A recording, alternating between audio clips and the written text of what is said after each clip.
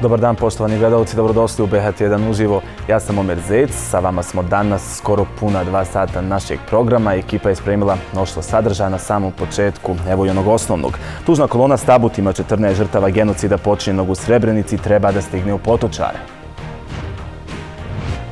Danas čak tri sjednice Narodne skupštine Republike Srpske svečana, nastavak desete i posebna sjednica. Strukovni sindikat medicinskih sestara i tehničara kantona Sarajevo traže novi kolektivni ugovor.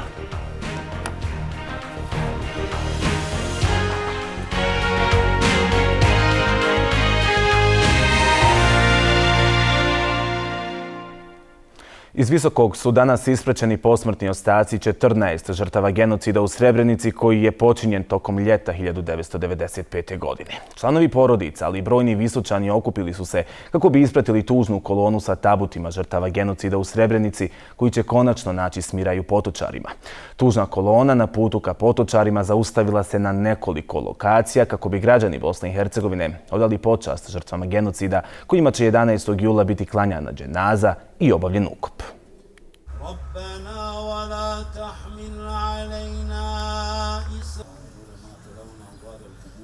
Koliko god oni krili zločin, ne mogu ga sakriti. Koliko god misli da ga unište i da ga izbrišu, ne mogu ga izbrisati. Ne postoji ni jedna gumica koja može izbrisati ovaj zločin, genocid koji se i desio. Postoje živi svjedoci, ali kad mi umremo, mi ćemo pravu istinu prenijeti na našu unčad. Jer ipak ovo mora biti opomena čitavom svijetu da što se i desilo 1995. godine da se ne ponovi i da se ne dogodi.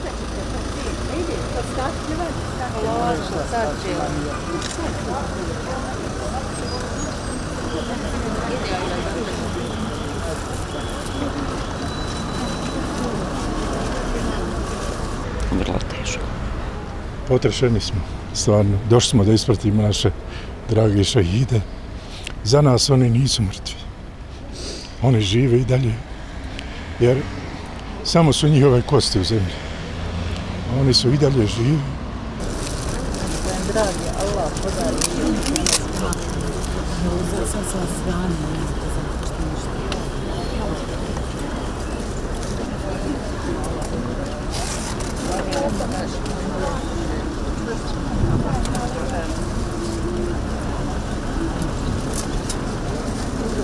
Lično ja koji je prešao sa 25 godina nepuni taj put, e, svaki dan se sjećam. Zato se sjetim i familije i ubistava ti i moj, mog brata najmlađe koji je imao 16 godina. Svaki dan je to sjećanje.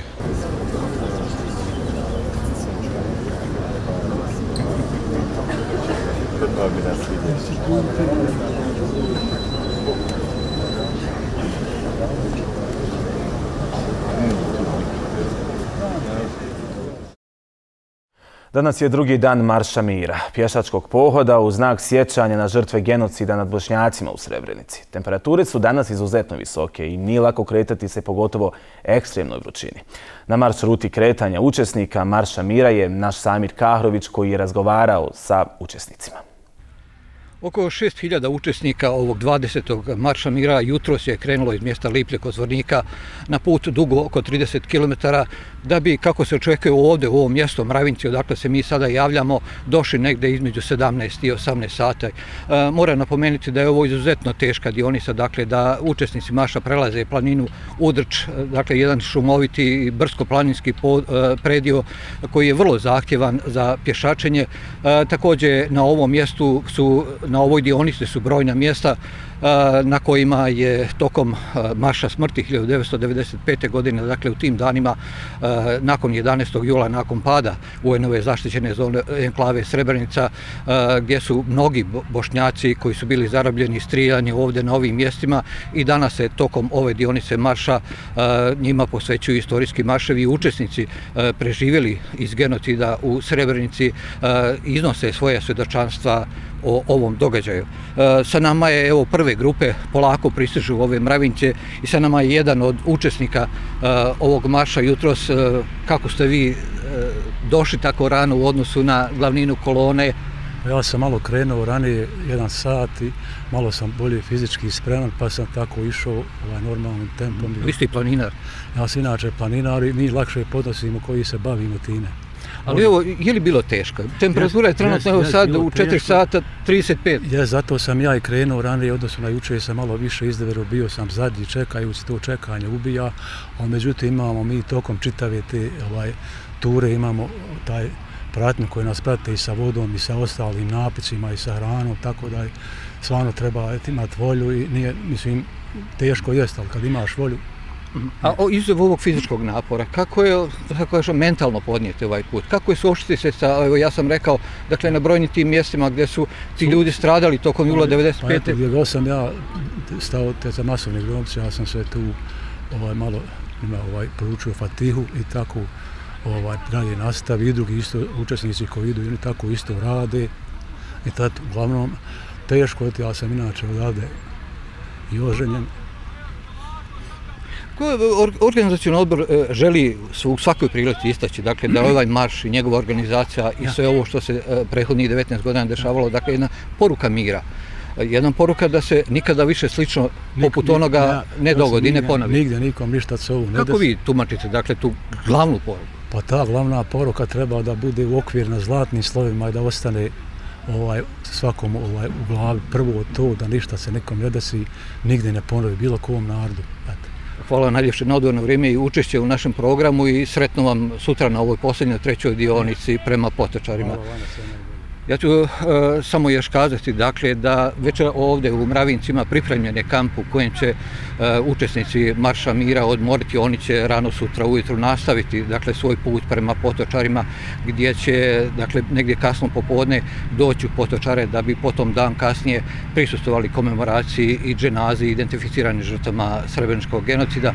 Mi naravno ostajemo ovdje u Mravincima e, čekati glavninu kolone Marša Mira i detalje oko toga donijećemo u našoj centralnoj informativnoj emisiji, a toliko za ovo uključenje za BHT1 uživo.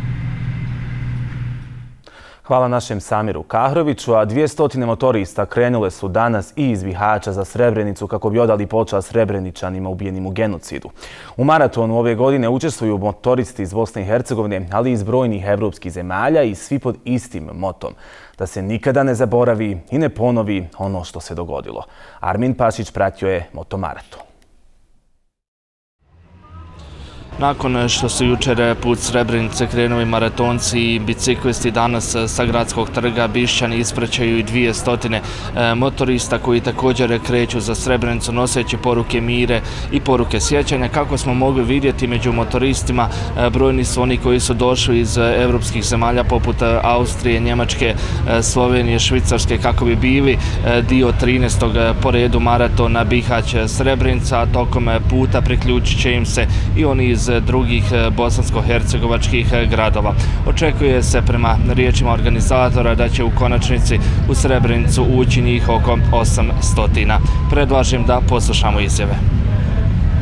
Danas se tu um, skuplja, skupljaju motoristi iz područja Unsko-Sanskog kantona, iz svih klubova, motoklubova Unsko-Sanskog kantona, također i iz e, inostranstva, iz Hrvatske, Slovenije, Austrije, e, Njemačke, Italije, Švedske, e, čak i iz Holandije imamo holandske državljane koji su odlučili ove godine s nama da učestvuju u 13. motomaratonu.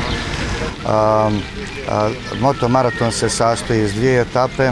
Prva etapa je Bihać Sarajevo, druga etapa Sarajevo Srebrenica, to je Potočari emocije e, i ono e, zašto e, bajkeri idu, oni znaju znaju razlog, naravno, da odaju počast žrtvama srebreničkog genocida, ali isto tako i na onom našem putu mi ćemo obići krajiško mezarje u Travniku, također e, položiti cvijeće, odati počast djeci žrtvama rata u Sarajevu. Meni je prvi puta da učestvujem u moto maratonu A inače smo iz Foralberga iz Austrije i osjećanje kao i svaki put sve, ne, sve posebno. A, ne, može se, ne može se to izaći, taj osjećaj, a, sasvim nešto posebno. da se obilježava to, da, da, da ostane u istoriji, da se zna da nikad više tako nešto nikoma se ne desi. Važnost odlaska na, na, na, na, na Srebrnicu i e, njihovu ovaj, komemoraciju jeste to da se nikad ne zaboravi takav zločin a, koji nije zapamćen u Evropi. Treba da se obilježava, treba da se da cijelom svijetu do znanja da oni ljudi nisu ostavljeni, da neće nikad biti ostavljeni zaboravljeno od nas.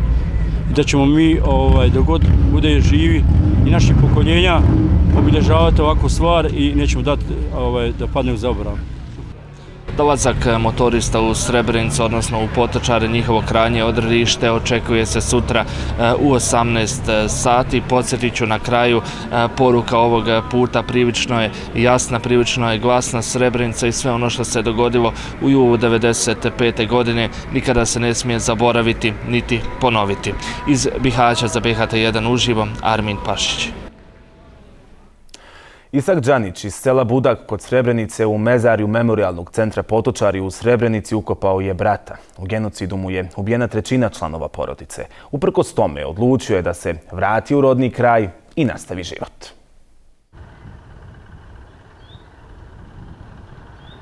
Iz sela Budak pogled se danas proteže preko hiljada bijelih nišana u mezarju Memorialnog centra Srebrenica Potočari. Isak Đanić je preživio genocid i u svoje rodno mjesto se vratio prije 12 godina. Izgubio sam znači ono najmilije ovdje što, mi je, što sam imao brata, jedinog, jednog, jednog jedinog braća, znači o 16 mjeseci njega 93. sam braća izgubio. Brat u prelazu nije prešao, prošle godine sam ga ukopao, sahranio. Pogodilo me mora se, mora se živjeti. U kući nedaleko od Isakove prije rata živjeli su njegova majka i brat sa porodicom. Isak je radio u fabrici akumulatora. Plata moja i, i, i kopača, rudara, koja je bila najveća na opštini, bili su znači, izjednačene. Znači, lijepo se živjelo. Normalno se živjelo, niko, niko nije mogo ni zamisliti šta će se može desiti. Pred kraj 1991. godine Isak Đanić je mobiliziran kao pripadnik rezervnog sastava policije. Automatski mu je prestao radni odnos u fabrici akumulatora. Rat je ubrzo počeo. Život je bio težak. Pucalo se svaki dan. Znači, na liniju smo išli na stražu. Čitao vrijeme i tako me i da tu, pa ovaj pas sredne su pa na liniji. Povukli su se i u koloni krenuli prema šumama do Tuzle. Brata Esada posljednji put je vidio nakon pada bukve. Nije sam gledao da li ću ja poginuti, da mene, mene je bilo važno da njega pronađe ga vidim, da, da mu pomogne. Jer on je bio miran. Jednostavno je malo je bio i plašiv, ono, i jednostavno povučen. On je bio visoči ono što kaže od mene i plav. Je puškast.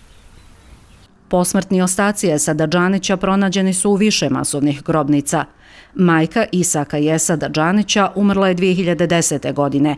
Nikada nije saznala istinu o mlađem sinu. Kada je nestao, imao je 27 godina. Isak Đanić i njegova supruga danas u Budaku žive s minimalnim primanjima.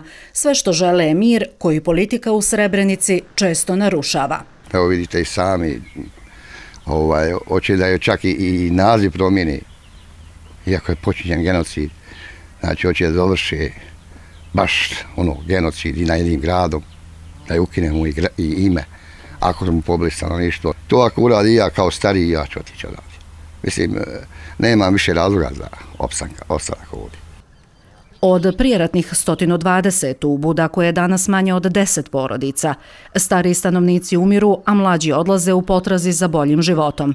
Neizvjesno je hoće li i kada ovdje biti bolje. Jedino sigurno i trajno u Budaku je podsjećanje na genocid.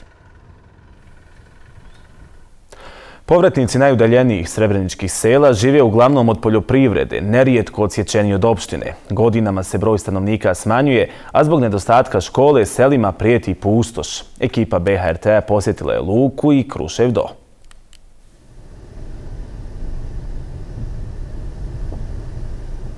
Udaljenost od centra Srebrenice do ove raskrsnice za Luku i Krušev do je nešto više od 40 km. Za vožnju automobilom je potrebno čak oko 2 sata, a vožnja je makadamskim uništenim putem. I tako su mještani mjesne zajednice Luka koje pripada i Krušev do nerijetko zimi naročito potpuno odsječeni od grada. Ovdje je danas oko 40 porodica, a prije rata je bilo više od hiljadu stanovnika. Hamo Zulanović iz Luke se poput ostalih povratnika bavi poljoprivredom i prevozom. U genocidu mu je ubijeno 11 članova šire porodice, među kojimi trojica Amidža. U rodno selo se vratio 2001. godine ima uvijek bolje i bolji mjesta i tako dalje, ali ja se ovdje ne osjećam nekako najbolje. Tu sam se i rodio i planiram i vjerovatno, jel, ona odozgo znao, planiram i ostati ovdje do smrti svoje. Bez obzira kakvim uslovima živjeli ili bili. U Luci je desetoro djeci, od kojih je šest školaraca. Škola ne radi, iako je objekat davno izgrađen, ali nastava nikad nije održana. Djeca radnim danima uglavnom borave u internatskom smještaju u potočarima, jer nemaju mogućnost svakodnevno putovati 50 km. Među njima je i Šemsudinova kćerka Maida. Narod se iseljava, mora. A djeca onaj krenu u školu, mora naći. Otišlo je masa i u Srebrenicu i po federaciji svukud. Bilo je ovdje naroda prije troduplo više nego sad. Bilo oko 200 članova sve ukupno prije, ali sad nema, svelo je se neki 70 od prilike. Maida pohađa šesti razred i kaže da je zadovoljna smještajem u internatu. Pa imamo sportske igre, e, učenje e, i radionce. A bilo više voljela da imaš ovdje školu? Pa bi. I evo šta planiraš kad završiš školu? Imaš li želju šta postati? Frizer. Svake zime snježnim nanosima su odsječeni od Srebrenice. Strahuju hoće li im zatrebati ljekarska pomoć zajedno sa mještanima Krušev dola na doma Kluke u kojem ni djece više nema. U mom Kruševu dolu je danas e, 70 godina je prosek starosti i morate zamisliti kakav je život. Što se tiče djece, govorim, više nema, nema se ovaj, e, ko roditi više, ni oženiti prije jedno sedam ili osam godina, ne znam, tačno posljednja beška je iz sela Isuševa dola. Gorući problemi mještana ovih planinskih sela ostaju nedostatak škole i putna komunikacija. Nadaju se da će nekada imati bolje uslove za život kako ne bi morali više napuštati svoja ognjišta.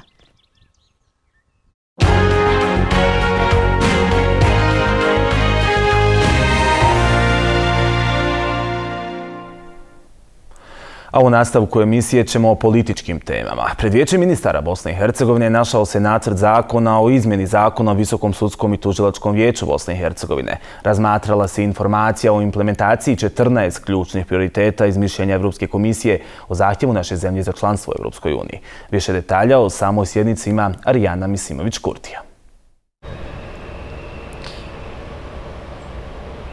Vijeće ministara Bosne i Hercegovine na današnjoj sjednici podržalo je izmjene e, zakona o Visokom sudskom i tužilačkom vijeću, čiji je predlagač e, bilo Ministarstvo pravde Bosne i Hercegovine. E, to znači da se pomjera rok za formiranje odjela integriteta za provjeru imovinskih kartona nosilaca pravosudnih funkcija i to za 28. februar naredne godine.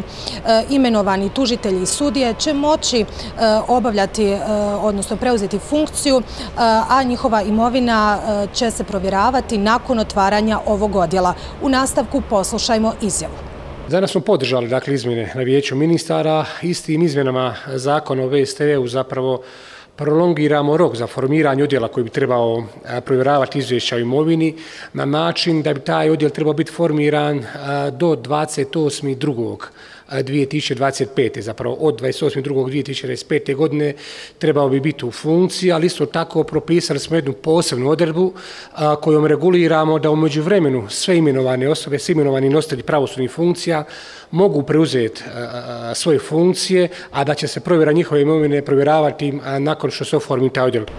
Inicijativa da 11. juli, dan sjećanja na genocid u Srebrenici, bude proglašen danom žalosti u Bosni i Hercegovini, a koju je prijetodno Vijeću ministara Bosne i Hercegovine uputio ministar odbrane Zukan Helez, danas je uvrštena na dnevni red, ali za nju nije bilo dovoljno glasova. Vijeće ministara Bosne i Hercegovine danas je, pored brojnih tačaka, trebalo razmatrati i informaciju o implementaciji 14 ključnih prioriteta iz mišljenja Evropske komisije o zahtjevu Bosne i Hercegovine za članstvo u Evropskoj uniji, no kako su nam kazali, ova je tačka povučena. Arijana Misimović-Kurdija, BHT1, Sarajevo.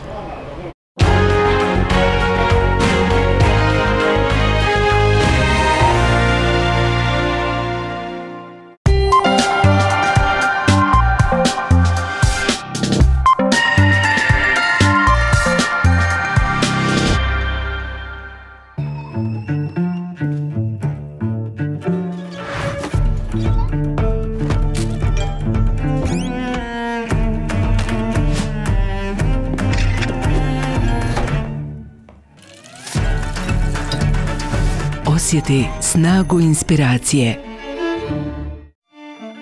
Jednostavna online kupovina i brza dostava. Kupujte online putem DM online shopa ili Moj DM aplikacije. Gle, nosić mu se ludo miče. Lina priča nove priče. Grad s nogometna figurca u limitiranom pakiranju. Prepoznajete li nekog?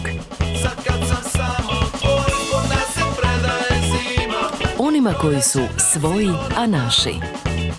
Za sve naše različite okuse i ukuse. Kvatro. U svakom ima nešto posebno.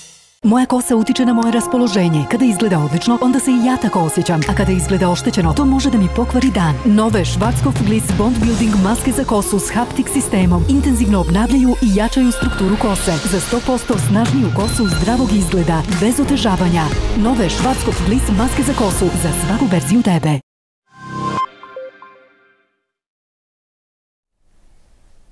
Obraćanjem predsjednice Narodne skupštine Srbije, Ane Brnabić u Banja Luci je počela svečana sjednica Narodne skupštine Republike Srpske. Po završetku svečane sjednice nastavili su redovno zasjedanje koje je prekinuto prošle sedmice. Puno poštovanje Dejtonskog mirovnog sporazuma od strane Republike Srbije i protivljenje daljem urušavanju Dejtonskog mirovnog sporazuma i s tim u vezi otvaranje pitanja oko ingerencija ili postojanja Republike Srpske koji Dejtonskim mirovnim sporazumom neprikosnovena, a to je potreba za mirom, za stabilnošću, za predvidivošću i izvesnošću u čitavom regionu Zapadnog Balkana. Srbija jasno stoji na pozicijama zaštite prava Republike Srpske u Dejtonskom sporazumu, to su ustavna prava, to su prava, jer Dejtonski sporazum nije sporazum između naroda entiteta, nego je međunarodni ugovor od kojih je jedan potpisnik i Republika Srbija i što Republika Srbija e, stoji i u međunarodnom smislu na zaštiti prava koje ima Republika Srpska i što uvijek jasno šalje poruke da neće dozvoliti urušavanja prava Republika Srpska i rušenje Dejtonskog sporazuma sa te strane. Dakle, Narodna skupština Republike Srpske nakon završetka svečane sjednice nastavila redovno zasjedanje prekinuto prošle sedmice gdje je na dnevnom redu konsolidovan izvještaj o izvršenju budžeta ovog entiteta u prošloj godini. Iz skupštine se javlja kolegica Dijana Vrhovac. Dijana, šta je to novo iz skupštinskih klupa? Omere, ovdje u Narodnoj skupštini Republike Srpske u toku je skupštinska pauza, ali prije nekoliko minuta održan je pres opozicije zbog otkazivanja posebne sjednice na kojoj su poslanici trebali da razmatraju dokument o mirnom razdruživanju nazvan informacija o potrebi pokretanja, regulisanja odnosa između Republike Srpske i Federacije u skladu sa Dejtonskim sporazumom i međunarodnim aktima. Kao što ste rekli u najavi, poslanici su razmatrali konsolidovani izvještaj o izvršenju budžeta za prošlu godinu. E, prihodi su iznosili 5 milijardi i 124 miliona. E, resorna ministarka je rekla da Republika Srpska neće bankrotirati i da će budžet nastaviti da izvršava svoje obaveze. Međutim, opozicija je iznijela niz zamjerki, između ostalog zbog nenamjenskog trošenja e, sredstava. Smatraju da je budžet u hroničnom deficitu i da ne bi mogao opstati bez kredita dodatnih eh, zaduženja. Slušamo izjave. Ukupan dug iznosi 6,2 milijarde, to je već nekoliko godina unazad, da kažem, isti nominalni iznos, ali pošto se bruto domaći proizvod raste iz godine i godinu, ovaj procenat je na kraju godine iznosio, znači ukupan dug iznosi 39,8% bruto domaćeg proizvoda, Javni dug 5,3 milijarde također se kreće na istom nivou već nekoliko godina i on iznosi na kraju godine 33,7% bruto domaćeg proizvoda, a znate da ta granica negdje 55% zakonom utvrđena. Ovdje imamo, znači, što je fiskalni savjet fino, fino to ovaj, ovdje nabrojao, da je e, budžetski deficit planirani u 2023. godini 257 miliona 864 347 maraka. Međutim, ovdje fiskalni savjet kaže da mi toj, tom više milionskom iznesu trebamo da dodamo također i, iznes, i, i dug e, i dug lokalnih zajednica koji je, koji je ukupno 30 lokalnih jedinica lokalne samuprave ima budžetski deficit od 42 miliona i 152 hiljade i 657 i kada još nabrojimo i stavke koje, se odno, koje fiskalni savjet ka, e, govori da se trebaju računati ukupni dug, mi znači imamo deficit koji je 390 miliona i 886 hiljada i 252. To znači fino je ovdje fiskalni savjet razložio, znači to je njihove riječi, nisu moje. Dakle, ovdje u suštini e, po, e, po znači, mišljenju fiskalnog savjeta, deficit u 2023. godini je 390 miliona, a ne planirani koji je bio 257 miliona.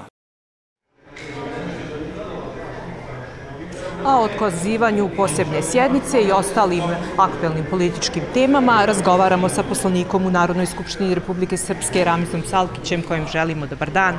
Dobar dan vama vašim gledalcima. Evo recite nam, jeste vi iznenađeni što je e, iz skupštinske procedure povučen dokument o mirnom razdruživanju i šta uopšte mislite o njemu? Pa, za mene iznenađenje bilo da se pojavi neki dokument koji je van, usta, van ustava, koji zaslužuje krivičnu odgovornost da se pojavi i da se o njemu špekuliše i priča. Dakle, ne postoji nigdje u Ustavu, niti entiteta, niti države Bosne i Hercegovine bilo kakva mogućnost o bilo kakvom razdruživanju, svako onaj ko o tom i priča, razmišlja, zagovara, zagovara to, pravi dokumente, on treba biti predmet istrage i procesuirana zato što radi na rušenju ustavnog poredka. Je li uopšte moguć e, s pravne strane mirni razlaz Republike Srpske i Federacije Bosne i Hercegovine? Kao što sam već rekao, Ustav ne predviđa mogućnost nikakvog razlaza. Bosna i Hercegovina je na osnovu člana 1 Ustava Bosne i Hercegovine, ova današnja sredbenik Republike Bosne i Hercegovine.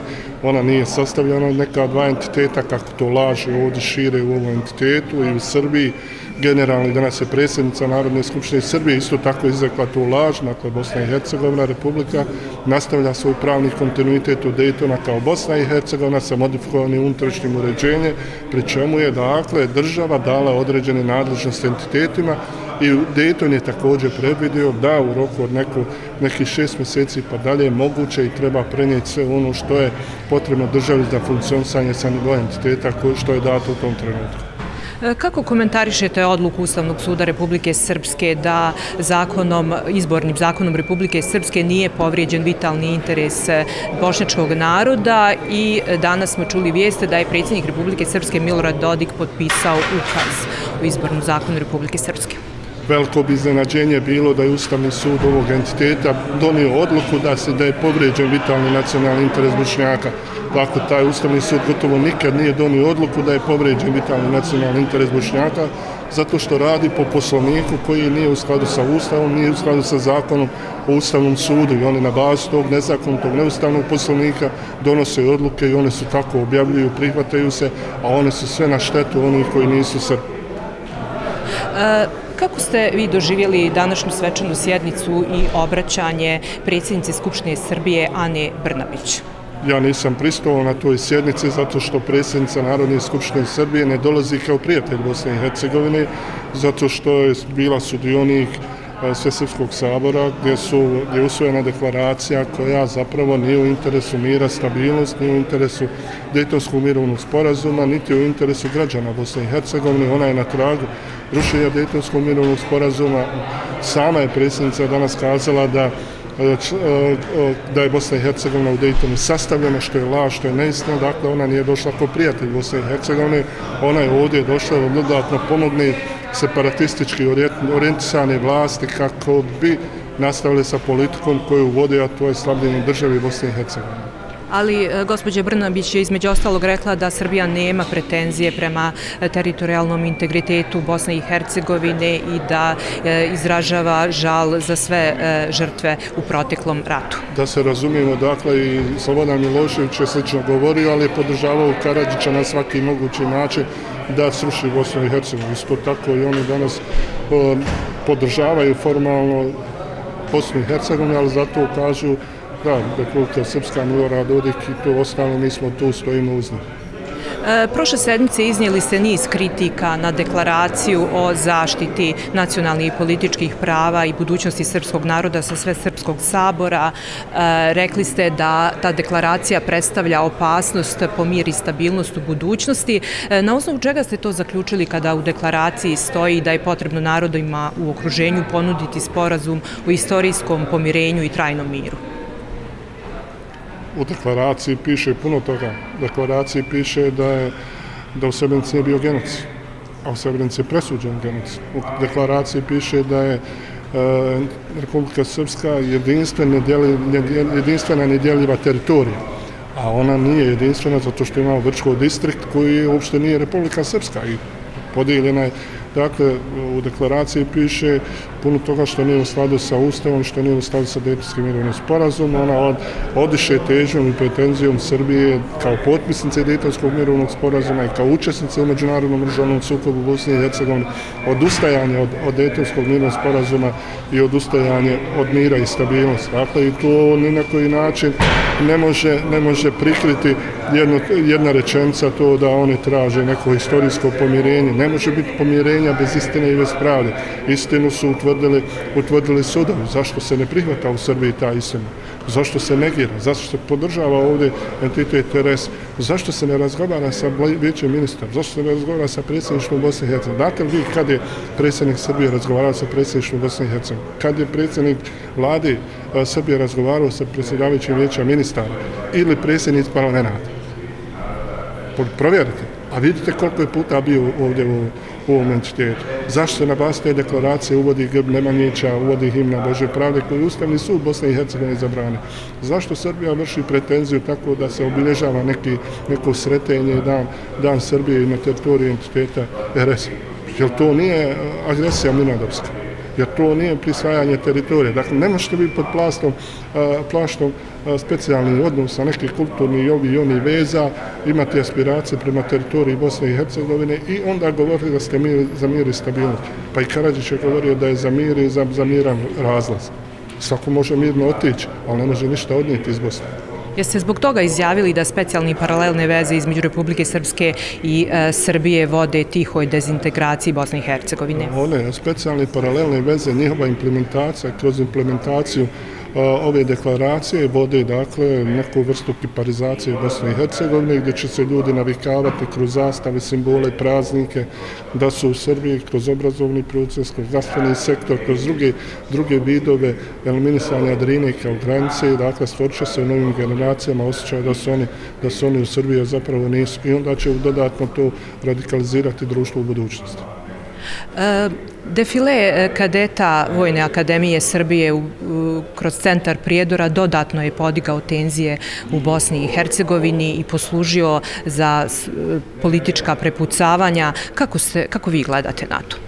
Pa ja mislim da je tu grubo prekršena procedura u smislu da e, ministarstvo odbrane ili, ili ministarstvo vanjskih poslova ispostavilo se ministarstvo vanjskih poslova nisu obavijestili javnost kakve su sve saglasnosti dali. Onda je došlo, došlo nepovje, do nepovjerenja u javnost. S druge strane, u situaciji kako jesmo, da Srbija je bila protiv rezolucije o, o genocidu u Srebrenici, da negi, da veliča ratne zločince, da negira počinjeni genocid, da se to odbija u prijedoru gdje je jasna bila genocidna namjera, da se to odbija u vremenu obilježavanja e, godišnice e, zločina i genocida na bošnjacima u Srebrenici, sigurno je zoni UN kada, da se to obilježava u vremenu kada su podigle tenzije oko usvajanja deklaracije na Srpskom, sve Srpskom saboru i kada se to sastavlja u kontekst implementacije sve Srpskog sabora nikako nije trebalo dozvoliti da, da ta delegacija dođe u Bosnu i Hercegovinu u uniforma i u takvom, u takvom obliku. Dakle, to je ogroman propust i u normalnim zemljama se ostavka podnose za to. Pomenuli ste grb i zastavu, u Skupštini je usvojen nacrte zakona kojim se vraća u upotrebu himna Bože pravde i grb Nemanjića. E, predlagač predsjednik Skupštine Nenad Stevandić je rekao da se to ne može sudski osporiti i da se time ne vrijeđa e, niko. E, kakav je vaš komentar? Pa njih to nije ni vrijeđalo ni prije toga što je Ustavni sud Bosne i Hercegovine proslasio diskriminirajući. Mi ne očekujemo da njih vrijeđa. Mi očekujemo da oni razumiju da nas to vrijeđa. I očekujemo da oni razumiju da je Ustavni sud rekao da je to diskriminatorno i da kao evo neki kao koji zagovaraju Dejtonski mirovni sporazum, a po, po Dejtonu e, odluke Ustavnog suda su konačne i obavezujuće i te konačne obavezujuće odluke očekujemo da i oni poštuju, a one su da ne može biti primjenjivani Bože pravde kao himna, niti, niti Grb Nemanjića, pa čak ni kao, kao gostujući neki, da tako kažem, simboli nekih susjednih država. Dakle, jasna je od namjera na mala vrata da se vrati ono što je Ustavni sud, ono što je Ustavni sud osporio i ono što, što je diskriminirajuće, ali zapravo oni žele da pokažu da su jedinstven prostor. E, vjerujete li da će e, biti primijenjen e, izborni zakon Republike Srpske na teritoriji ovog entiteta s obzirom na to da je potpisan ukaz predsjednika? Pa mi idemo na izbore po izbornom zakonu Bosne i Hercegovine. Svi ti koji su glasali za taj izborni zakon koji su mogli objaviti u službenom glasniku i prije sedam dana ili možda deset dana, Pa, prijavili su se, do, do danas su se prijavili da će učestvati na izborima, tako da ovaj zakon je besmislen u ovom trenutku. Da li će on nekad biti primjenjivan ako ako oni nastavi separatističku politiku, to je sad jedna druga stvar. U svakom slučaju, sad kad je objavljen, zakon će ići vjerovatno na ocenu stavnosti pred Ustavnim sudom Bosne i Hercegovine i vidjet ćemo da li su, da li su određeni elementi aneksa koji definiše izborni proces i saglasnosti da izborna komisija Bosne i Hercegovine provode izbore, da li su povređeni i će Ustavni sud poništi. Hvala vam na razgovoru. Hvala mama poštovani gledalci, o aktualnim političkim temama u Narodnoj skupštini Republike Srpske razgovarali smo sa poslanikom Ramizom Salkićem. Djena, hvala ti na ovom izvještaju i svakako hvala i našem gostu. A počeo je novi toplotni talas širom naše zemlje. Zbog toga su iz Federalnog hidrometeorološkog zavoda izdali naranđasto upozorenje. Dnevne temperature zraka bit će od 34 do 41 stepen Celzijusa. U većem dijelu zemlje se očekuju i tropske noći sa minimalnom temperaturom vazduha većom od 20 stepeni. Meteorolozi upozoravaju i na visoko UV zračenje zbog čega je potrebno poštovati preporuke ljekara i ne izlagati se suncu u najtoplijem dijelu dana od 10 do 17 sati. Ljekari još jednom podsjećaju da je u organizam potrebno nositi što više tečnosti. Danas, ali i narednih nekoliko dana, očekuje nas dosta vruće i dosta visoke vrijednosti temperatura zraka. Prognozni modeli ukazuju da će do 14.7. dosta biti rizično kada su u pitanju ekstremne vrijednosti temperatura, a naši prognozni modeli ukazuju da bi one mogle dosezati i do 41 stepen Celzijusa. Zbog toga je na snazi naranđasto upozorenje za cijeli prostor naše zemlje i treba pripaziti na takve okolnosti vlasti, pripremiti se, prilagoditi se takvim uslovima da bismo rizike sveli na minimum.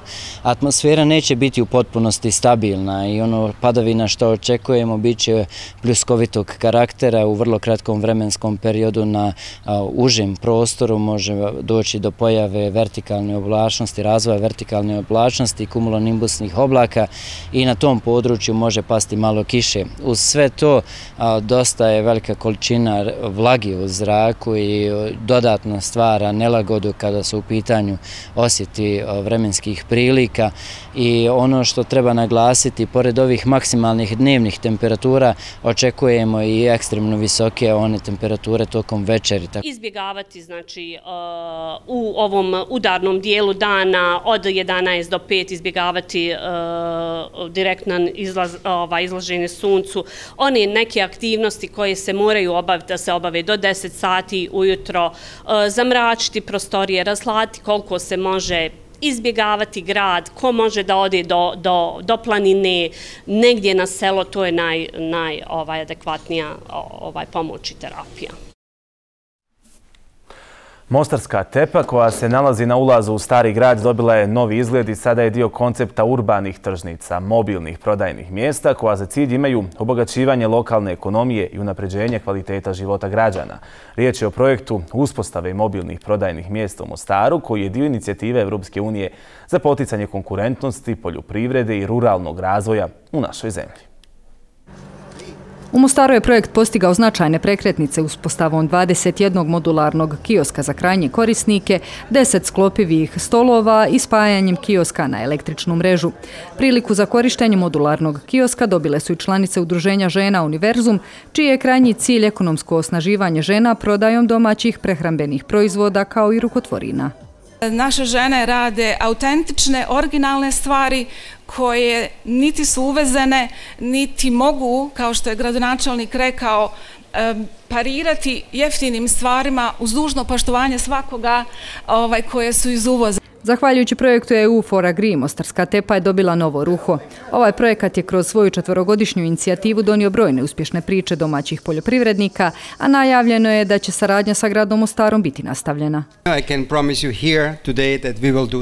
Evo ja s ovog eh, mjesta, ovom eh, prigodom eh, obećavam da svakako hoćemo i u budućnosti nastaviti podršku ovom izuzetno važnom sektoru poljoprivrede. Ja sam neko koji izuzetno cijeni, koji je zavolio Bosnu i Hercegovinu.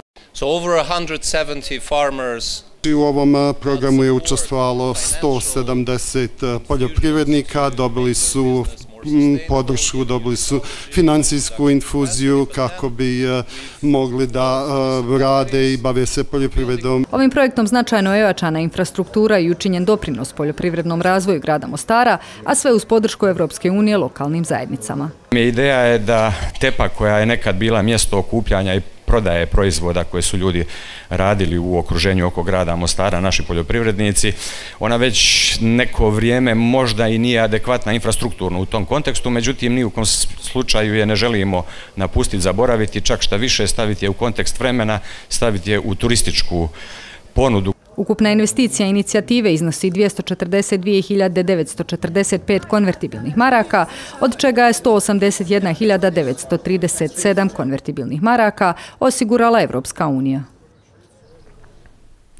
Već godinama svjedočimo i to velikom broju odlaska stručnog zdravstvenog kadra u zemlji inostranstva, posebno medicinske sestre i tehničari. Nezadovoljni uslovima rada i strukovnog sindikata medicinskih sestara i tehničara kantora Sarajevo upozoravaju da je potreban novi kolektivni ugovor, a ne izmjene i dopune postojećeg. O tome ćemo u narednim minutama razgovarati sa Elvedinom Vatrešom, predsjednikom ovog sindikata. Dobrodošli, gospodine Vatreš. Bolje vas našao. Pozdravljam vaše cijenjeno gledateljstvo tu smo da razgovaramo. Naravno. Evo dakle, formirali ste pregovarački tim, poslali ste dopisi prema kantonalnoj vladi i prema resornom ministarstvu. Jeste li dobili kakav odgovor? Pa evo, prije neki mjesec dana mi smo uputili ovaj dopis ispred kantonalnog sindikata sestara sa odlukom normalno upravnog odbora. Poslali smo i očekujemo ovaj, da budemo pozvati na pregovore. Ja sam danas dobio neke informacije da je to vrlo moguće u nekom kratkom roku da ćemo sjesti ovaj, za pregovarački sto.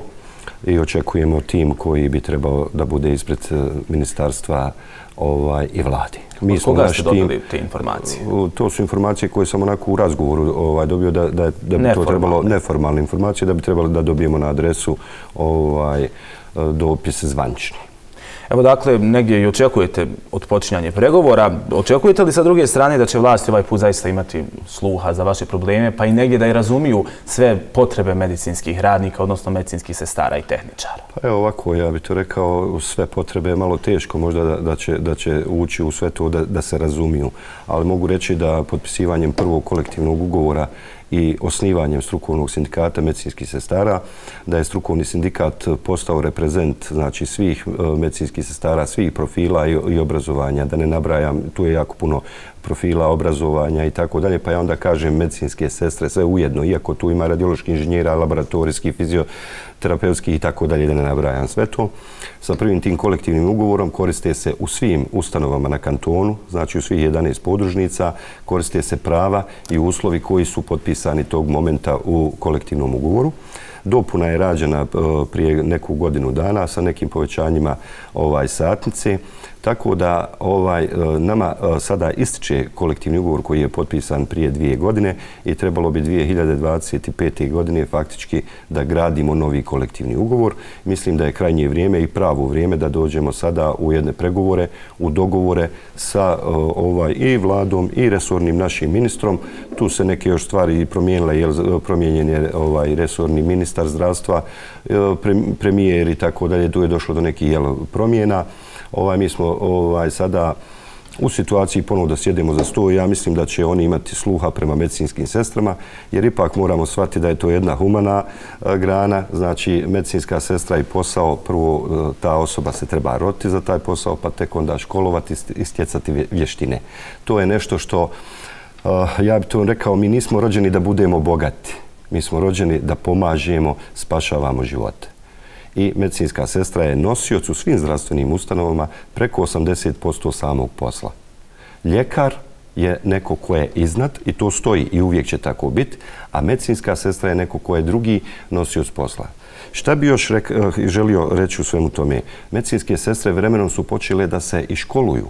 Znači, to su ozbiljni fakulteti. Eh, sljedeće i magisteriji i doktorati. Mi već imamo i magistre u sestrinstvu, imamo doktore u sestrinstvu i volio bi i napomenuo bi da trebamo malo tu okrenuti pažnje u tim ovaj priznavanjima koeficijenata.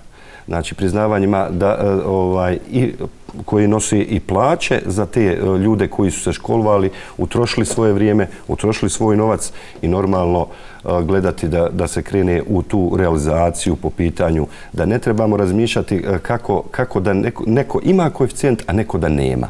Moramo tu nekako uraditi u tim nekim sistematizacijama koje su vezane i za pravilnike o radu i za kolektivne ugovore. Kad imamo sistematizaciju, ako sistematizaciji kaže imamo sistematizovano mjesto, trebamo to onda nastojati da to ovaj, ovaj ispoštujemo, jer ta osoba koja radi na tom mjestu treba da ima adekvatno i plaćena da bude za to.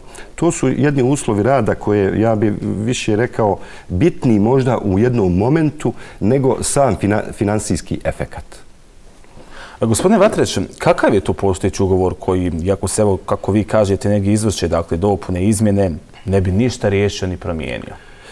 Pa ako e, pričamo o kolektivnom ugovoru koji smo mi tada uradili i potpisali ovaj, sa tadašnjom, ovaj, tadašnjim ministrom, ovaj, resornim ministrom zdravlja i, ovaj, i premijerom, Eh, trebalo, eh, sada je došlo vrijeme da mi eh, gledamo da promijenimo neke, neke situacije koje se dešavaju tu. Ako krenemo od inflacije, automatski pričamo o nekom uh, finansijskom dijelu gdje je inflacija odšla preko 500% i automatski dolazimo do situacije gdje, gdje, gdje, je, pot, gdje je potrošačka korpa puno veća i da, da to treba jednoj i sestri, treba svim drugim građanima. Ja ću biti najsretniji kad uređenost bude takva da nam ne ode 500.000 stanovnika ili ne ode 7.000 sestara iz e, naše lijepe ove domovine. I da školujemo kadar koji je ovdje jako ovaj, i vispren, i spreman, i inteligentan, a na kraju e, ga školujemo za Evropsku uniju. Što ćemo dovesti sebe onda u situaciju da mi moramo da uvozimo kadar iz nekih drugih zemalja. Ja ovaj, znači kolektivni ugovor koji treba, ali jako i bitna situacija da se trebaju poštovati e, tačke kolektivnog ugovora. I šta još želim naglasiti? Dolazimo u situaciju u pojedinim zdravstvenim ustanovama da tumačenje kolektivnog ugovora gdje je jedna rečenica vrlo, vrlo jasna i konkretna, onda dolazimo u situaciju da neko kaže ajmo sad osnovati komisiju da istumačimo ponovo tu tačku. Mislim da je to neke stvari koje trebamo da shvatimo. Ako je to potpisao i premijer i vlada, a tamo je jako puno i pravnika i svi oni koji su pogledali to, znači da je to nešto što je ispravno. I mi onda gubimo na tome da trebamo da, da tumačimo neki član, da li je, da li je jedan ispit specializacija. Mislim, to Ali evo, na vrijeme, ste, na vrijeme ste krenuli s obzirom na to dakle, da postojeći kolektivni ugovor ističe početkom iduće godine. Imate evo, dakle, malo manje od pola godine. Hoće li vam biti to dovoljno? Gospodine Vatreš. I evo, dakle, šta je prema vašim zahtjevima potrebno sve definisati novim kolektivnim ugovorom? Evo, sada ste, dakle, spomenuli visinu, odnosno iznos plati. Prije toga ste rekli da nisu samo financije jedini problem. Šta je još problem sa uslovima rada? Iskreno rečeno, e, mislim da imamo više nego dovoljno vremena da napravimo jedan, jedan fin kolektivni ugovor koji će se ticati medicinskih sestara a opet kaže medicinska sestra je neko koji je jako bitan ovaj, čimbenik u, u, u jednom zdravstvenom sistemu. A zdravstveni sistem je jako bitan da bi postao jedan, jedna nacija, jedan narod. Jer ako toga nema, onda ne možemo, e, taj narod ne može živjeti bez zdravstvene njege, što, je, što nam je potpuno jasno. Znači, to su neki, e, neki čimbenici koji su neophodni. E, šta je potrebno uraditi? Potrebno je uraditi, normalno gledati po pitanju Zavoda zdravstvenog osiguranja koje su to, ovaj, koji su to novci, koliko ima i kako možemo uraditi. Sestra nikada nije bila megaloman. Mi smo, opet sam rekao, i rođeni da budemo neko ko pomaže, ali smatram da ako se vratim u period 9.2 pa do danas, da su to heroji u bijelom i da smo mi kad je najpotrebnije i u ratu i u koroni, onda nam se i pjeva i plješće i sve, a onda kad sve to stane, onda se na jednom e, jednostavno zaboravimo. A moramo shvat da ta sestra primi tog pacijenta koji dođe e, na kapiju ustanove i isprati ga e, domu svome. Uraditi trebamo sljedeće. Napraviti pregovore. Ja se nadam da će novi ministar, resorni ministar Hasanović, da će, imali smo već jedan razgovor i mislim da će, da će ovaj, biti vrlo korektan prema, prema medicinskim sestrama. A kakav je odnos sindikata sa resornim ministrom? Odmah da vam kažem, strukovni sindikat uvijek želi da ima jedan fin odnos i prema premijerima i prema menadžmentima ustanova. Ja sam onaj predsjednik svih e, u kantonu Sarajevo svih ovih ustanova i kliničkog centra i opće bolnice i Zavoda za hitnu medicinsku pomoć i tako dalje. Zato kažem u množini svih menadžera. Da ali njihov rad se tiče direktno dakle evo vaših uslova rada? Kako onda u tom segmentu djelujete i kakva vam je komunikacija? Mi imamo dobru komunikaciju. Kao strukovni sindikat ja ne mogu ovaj, imati zamjerke da nemamo dobru komunikaciju, da ima neki od direktora da ovaj, ne želi s nama ovaj, u, u razgovorima, u pokušati da uradimo sve što možemo da uradimo, ali jedino što bi ja možda tu napravio neke zamjerke, jako su dugi ti procesi, recimo, usvajanja tu bi trebalo malo da se, da se obrati pažnja. Ako imamo jednu sistematizaciju u jednoj ustanovi, to treba bržim tokom da se završava u resornom ministarstvu. I ako mi napravimo tu sistematizaciju, i ako je ta sistematizacija potpisana, onda bi je trebalo ispaštovati. Ako smo ispoštovali, kažemo da u jednoj ustanovi, kao što je opća bolnica, treba da ima 25 medicinskih sestara, diplomirani medicinskih sestara, onda tim diplomiranim sestrama treba dati taj koeficijent koje one imaju već sa potpisanim kolektivnim ugovorom. Ako imamo magistre, pa, e, pa imamo 5% na magisteriji, onda je vrlo ružno kad ja dobijem iz jedne ustanove, recimo da je u jednoj ustanovi kolegije priznat magisterij, a u drugoj ustanovi kolegi nije priznat magisterij a isti, ista je riječ o kolektivnom ugovoru. I onda još što je još e, ovaj najinteresantnije, dobijem dopis iz tih ustanova gdje traže e, da se osnuje tim za tumačenje kolektivnog ugovora. I vidite, džavla, na kraju kad ja budem u tom timu, još me izaberu ispred vlade i mene da ja budem prijesnik tog tima. I onda ja moram da tumačim ponovo ono što sam već jednom pisao. I onda ja opet kažem da, taj magisterij je 5% i treba da ga, da ga ispoštujemo. A to ćete dakle tek tumačiti ukoliko otvorite pregovore, je li tako? E, uh, vidite, vi kad potpišete kolektivni ugovor, on je već spreman. I treba onda samo da o, naši, naše pravne službe i ekonomske službe da to provedu kako treba da provedu. Jedino što ja bi ja možda imao zamjerku, možda će nekom je biti ovaj, krivo što ću ja ovo reći, naše e, službe, kao što su ekonomske i pravne službe, su službe koje bi trebale da budu naš e, ovaj, poticaj i da nam pomognu u rješavanju nas uposlenika, gdje se dosta često dešava radi u kontrastrani i da ne rješavaju to, nego traže nam dodatne neke još ovaj, e, tumačenja i tako dalje. A kad se u pitanju, oni vrlo dobro to brzo protumači. Čak i, vama će biti lako tumačiti, s obzirom da ste, kako kažete, i sami negdje učestvovali u, u, u kreiranju tog ugovora. Evo dakle negdje svjesni činjenice da mladi ljudi, a posebno iz ove branše godinama, odlaze pa put Njemačke, odnosno inostranstva, pretpostavljam da razgovarate dakle, sa onima koji su negdje i otišli ili možda žele otići. Šta vam kažu, šta ih najviše tjera odavde? Uslov rada.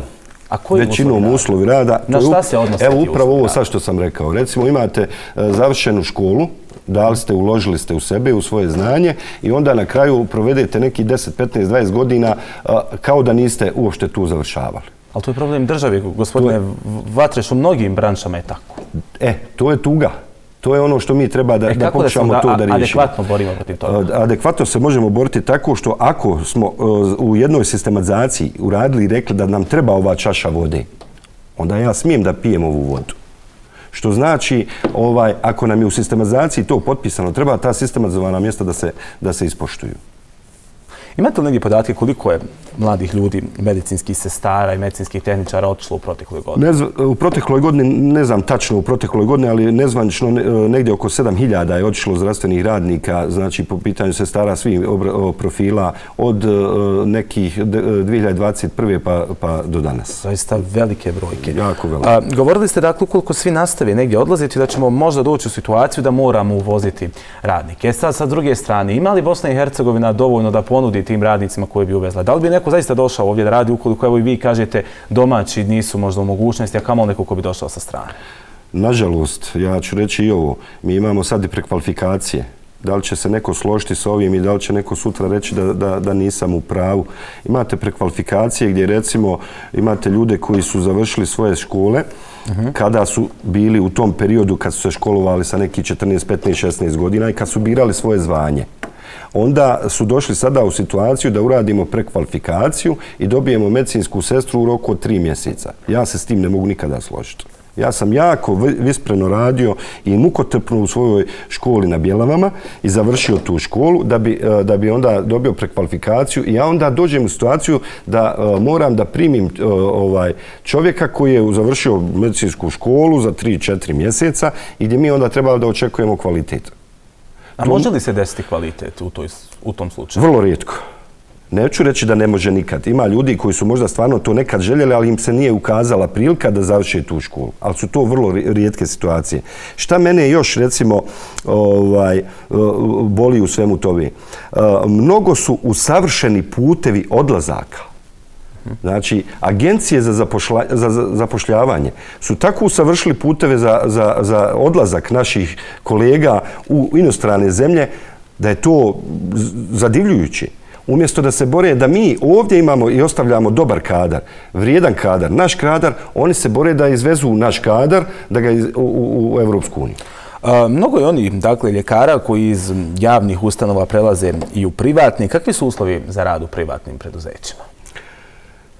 Evo ovako, sad ću vam i to reći. Ja sam e, u ovih nedavno, eto, otvorena je ta, neka je otvorena i hvala Bogu da se otvara, ovaj, ustanove kao što je Asa bolnica. Neki od naših kolega su otišli, ovaj, koji, s kojima sam ja radio dugi niz godina, pa i 20 godina i, i možda i više.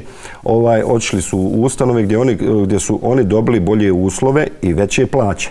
Jesu to drastično bolje uslovi? Pa iskreno da vam kažem da iskreno da vam kažem da, ovo, nažalost, ja to moram tako da kažem, ovaj, e, to, to me najviše i boli, što dobijate onda ponude da idete u tako ustanove gdje se otvor, će se vrlo brzo još jedna bolnica, vrlo ozbiljna bolnica, Tako da... E pa shodno tome, e, gospodine Vatre, s obzirom da evo negdje iz, iz, iz razgovora mogu naslutiti da smatrate da profesije, odnosno medicinske sestre, nisu cijenjene u Bosni i Hercegovini. Treba li nama sad s tog aspekta više ovakvih bolnica koji će obrazovnom kadru dati dakle, uslove koji negdje zaslužuju ukoliko javne ustanove negdje nisu spremne pa na neki novi početak? A da li je lakše od ustanove koje već imamo, kao što su klinički centar, kao što je opća bolnica, graditi na dogradnju ili praviti novo iz temelja? E to trebate pitati vlast, ove kojima e. ste poslali Dakle, znači, ovaj, ja neću reći da ne treba da postoje ovaj, e, privatne ustanove. E, prije 30 godina sam razgovarao sa jednim profesorom e, uvaženim koji nikako nije tada razmišljao ovaj, da može, i spomenut ću ga imenom i prezmenom, e, prezmenom Ala Rahmetile, profesorom Osmanom Durčem, koji ja kad sam sa njim razgovarao, on je rekao, Edo, to ne postoji šansa da se otvaraju privatni. On je toliko uvjerovao u taj, u taj sistem rada ovaj, javnog sektora. To je jedan vrhunski hirurg. I onda se e, potpuno počinju mijenjati neke, neke situacije, neki trendovi, sve ostalo. Ja smatram da mi moramo svi, svi mi, i građani, i sestre, i ljekari, i ministri, i svi ostali, da želimo da zadržimo javni sektor. Privatni sektor treba da postoji i treba da funkcioniši. Ali da li mi kao zemlja, kao kantun, možemo podnijeti sa kadrom e, ovaj, takav kapacitet ustanova? Šta ćemo napraviti? Nadam se da ćete uspjeti e, u tome što se naumili. Gospodine Vatrešu, hvala vam na razgovoru. Hvala i vam. Elvedin Vatreš, dakle predsjednik strukovnog sindikata, medicinskih sestara i tehničara kantona Sarajevo, govorio je za BH1 uživo.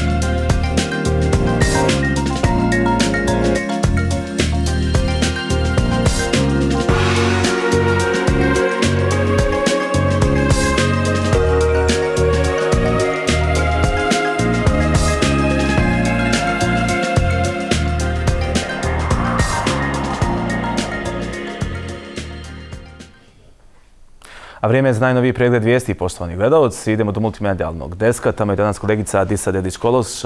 Adisa, dobar ti dan. Lijep pozdrav Omere tebi i našim gledateljima. Vrijeme je za vijesti. Tabuti sa posvrtnim ostacima 14 žrtava genocida stigli su u Potočare gdje će klanjanjem dženaze i ukopom naći konačni smira 11. jula. Tužna kolona sa posvrtnim ostacima ispraćena je jutros iz Visokog.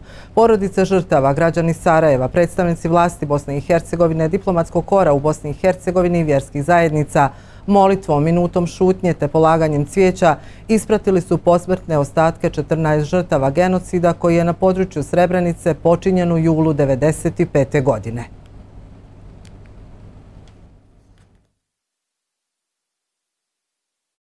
Moja poruka je koliko god oni krili zločin, ne mogu ga sakriti. Koliko god misli da ga unište i da ga izbrišu, ne mogu ga izbrisati. Ne postoji ni jedna gumica koja može izbrisati ovaj zločin, genocid koji se i desio.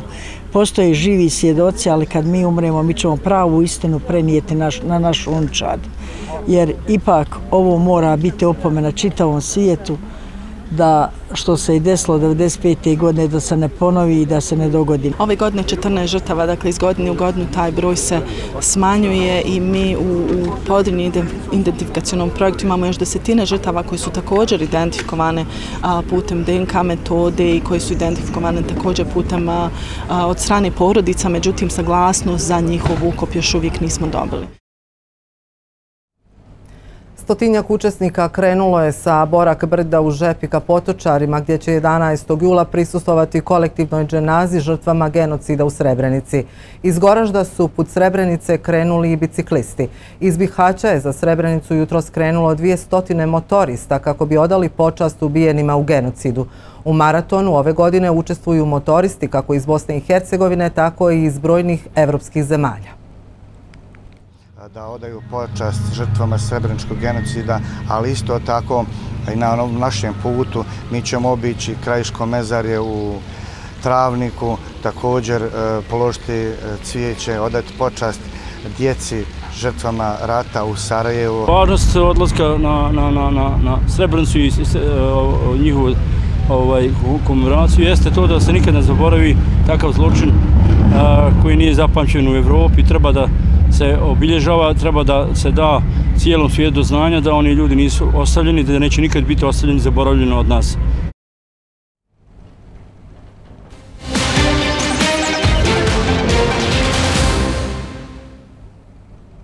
Zamjenik direktora SIPE Zoran Galić pod istragom je u okviru današnje akcije po nalogu tužilaštva Bosne i Hercegovine. On je ilegalno prešao granicu Bosne i Hercegovine i pobjegao u Hrvatsku, navodi se u saopćenju koje potpisuje glavni tužilac tužilaštva Bosne i Hercegovine Milanko Kajganić. U istoj akciji uhapšeni su pomoćnik komandira jedinice granične policije Trebinje Blagoje Milović i državljanin Bosne i Hercegovine i Hrvatske Ivica Bago. Terete ih za organizirani kriminal, nedopušten promet akciznih proizvoda, zloupotrebu položaja ili ovlaštenja i druga krivična dijela. Galić se sumnjiči za primanje dara i drugih oblika koristi, zloupotrebu položaja i ovlaštenja u periodu dok je obavljao dužnost direktora granične policije Bosne i Hercegovine. Pripadnici Federalne uprave policije su nakon pretresa u privrednom društvu Operator Terminali Federacije Bosne i Hercegovine uhapsili direktora Hermedina Zornića i člana uprave Slavena Zeljku. Kako navode iz tužilaštva kantona Sarajevo, oni su uhapšeni zbog krivičnih dijela zloupotreba položaja ili ovlaštenja i povreda ravnopravnosti pri zapošljavanju.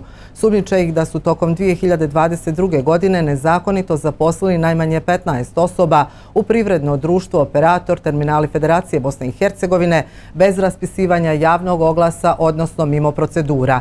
Većina zaposlenih nisu ispunjavali uvjete za radna mjesta na koja su raspoređeni.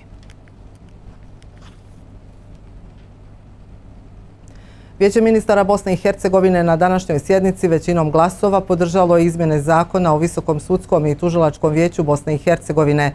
Izmjena zakona znači pomjeranje roka za formiranje odjela integriteta za provjeru imovinskih kartona nosilaca pravosudnih funkcija. Predlagač zakona je Ministarstvo pravde Bosne i Hercegovine. Vijeće ministara Bosne i Hercegovine nije donijelo odluku da se 11. juli, dan sjećanja na genocidu Srebrenici, proglasi danom žalosti u Bosni i Hercegovini zbog dva glasa koja su bila protiv ove inicijative, a koju je prethodno uputio zamjenik predsjedavajuće vijeća ministara i ministar odbrane Bosne i Hercegovine Zukan Heles. Informacija o implementaciji 14 ključnih prioriteta iz mišljenja Evropske komisije o zahtjevu Bosne i Hercegovine za članstvo u Evropskoj uniji je povučena sa dnevnog reda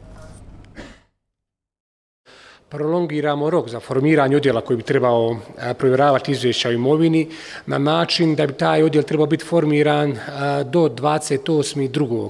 2025. zapravo od 28.2.2025. godine trebao bi biti u funkciji, ali isto tako propisali smo jednu posebnu odredbu kojom reguliramo da umeđu vremenu sve imenovane osobe, sve imenovani nositelji pravosudnih funkcija mogu preuzeti svoje funkcije, a da će se provjera njihove imovine provjeravati nakon što se oformi taj odjel. Obraćanjem predsjednice Narodne skupštine Srbije, Ane Brnabić u Banja Luci, održana svečana sjednica Narodne skupštine Republike Srpske. Narodna skupština Republike Srpske je nakon završetka svečane sjednice nastavila redovno zasjedanje prekinuto prošle sedmice. Raspravljano je o konsolidiranom izvještaju o izvršenju budžeta Republike Srpske u prošloj godini, u kojem se navodi da su budžetski prihodi i primici iznosili 5,124 milijarde maraka. Zastupnici razmatraju i specijalni izvještaj institucije Ombudsmana za ljudska prava Bosne i Hercegovine, analiza realizacije preporuka Ombudsmana za ljudska prava Bosne i Hercegovine imovine.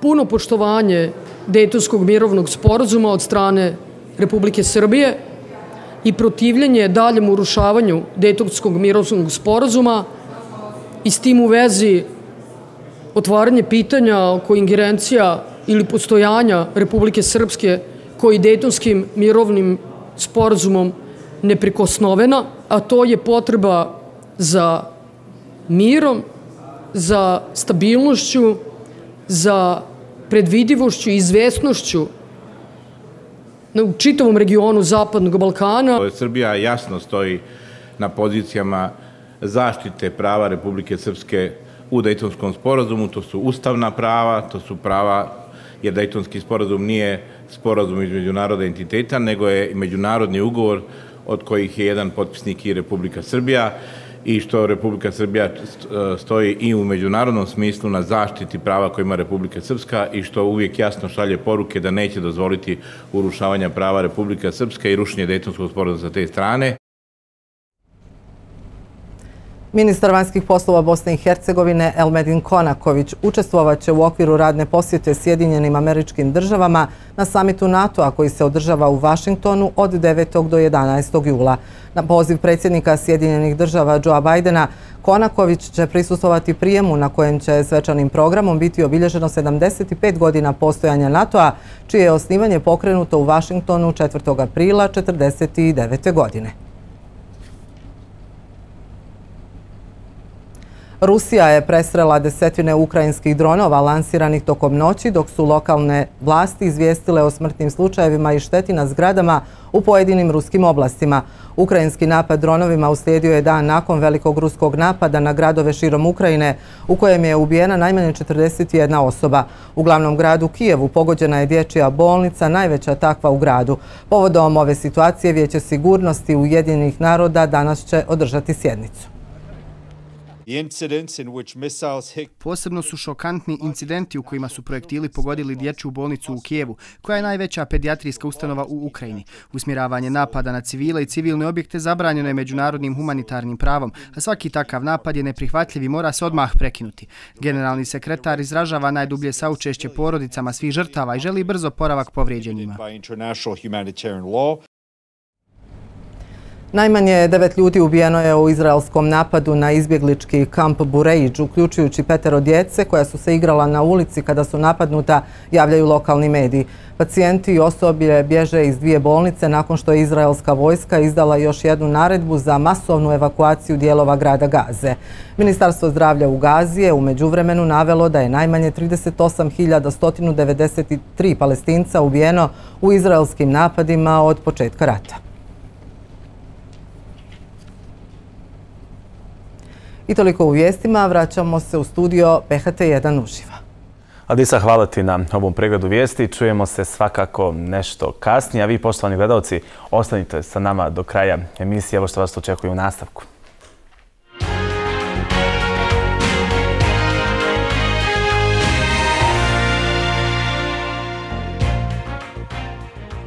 Vlašički ili travnički sir, kako god ga zvali, da bi mogao na tržište Evropske unije, mora biti brendiran.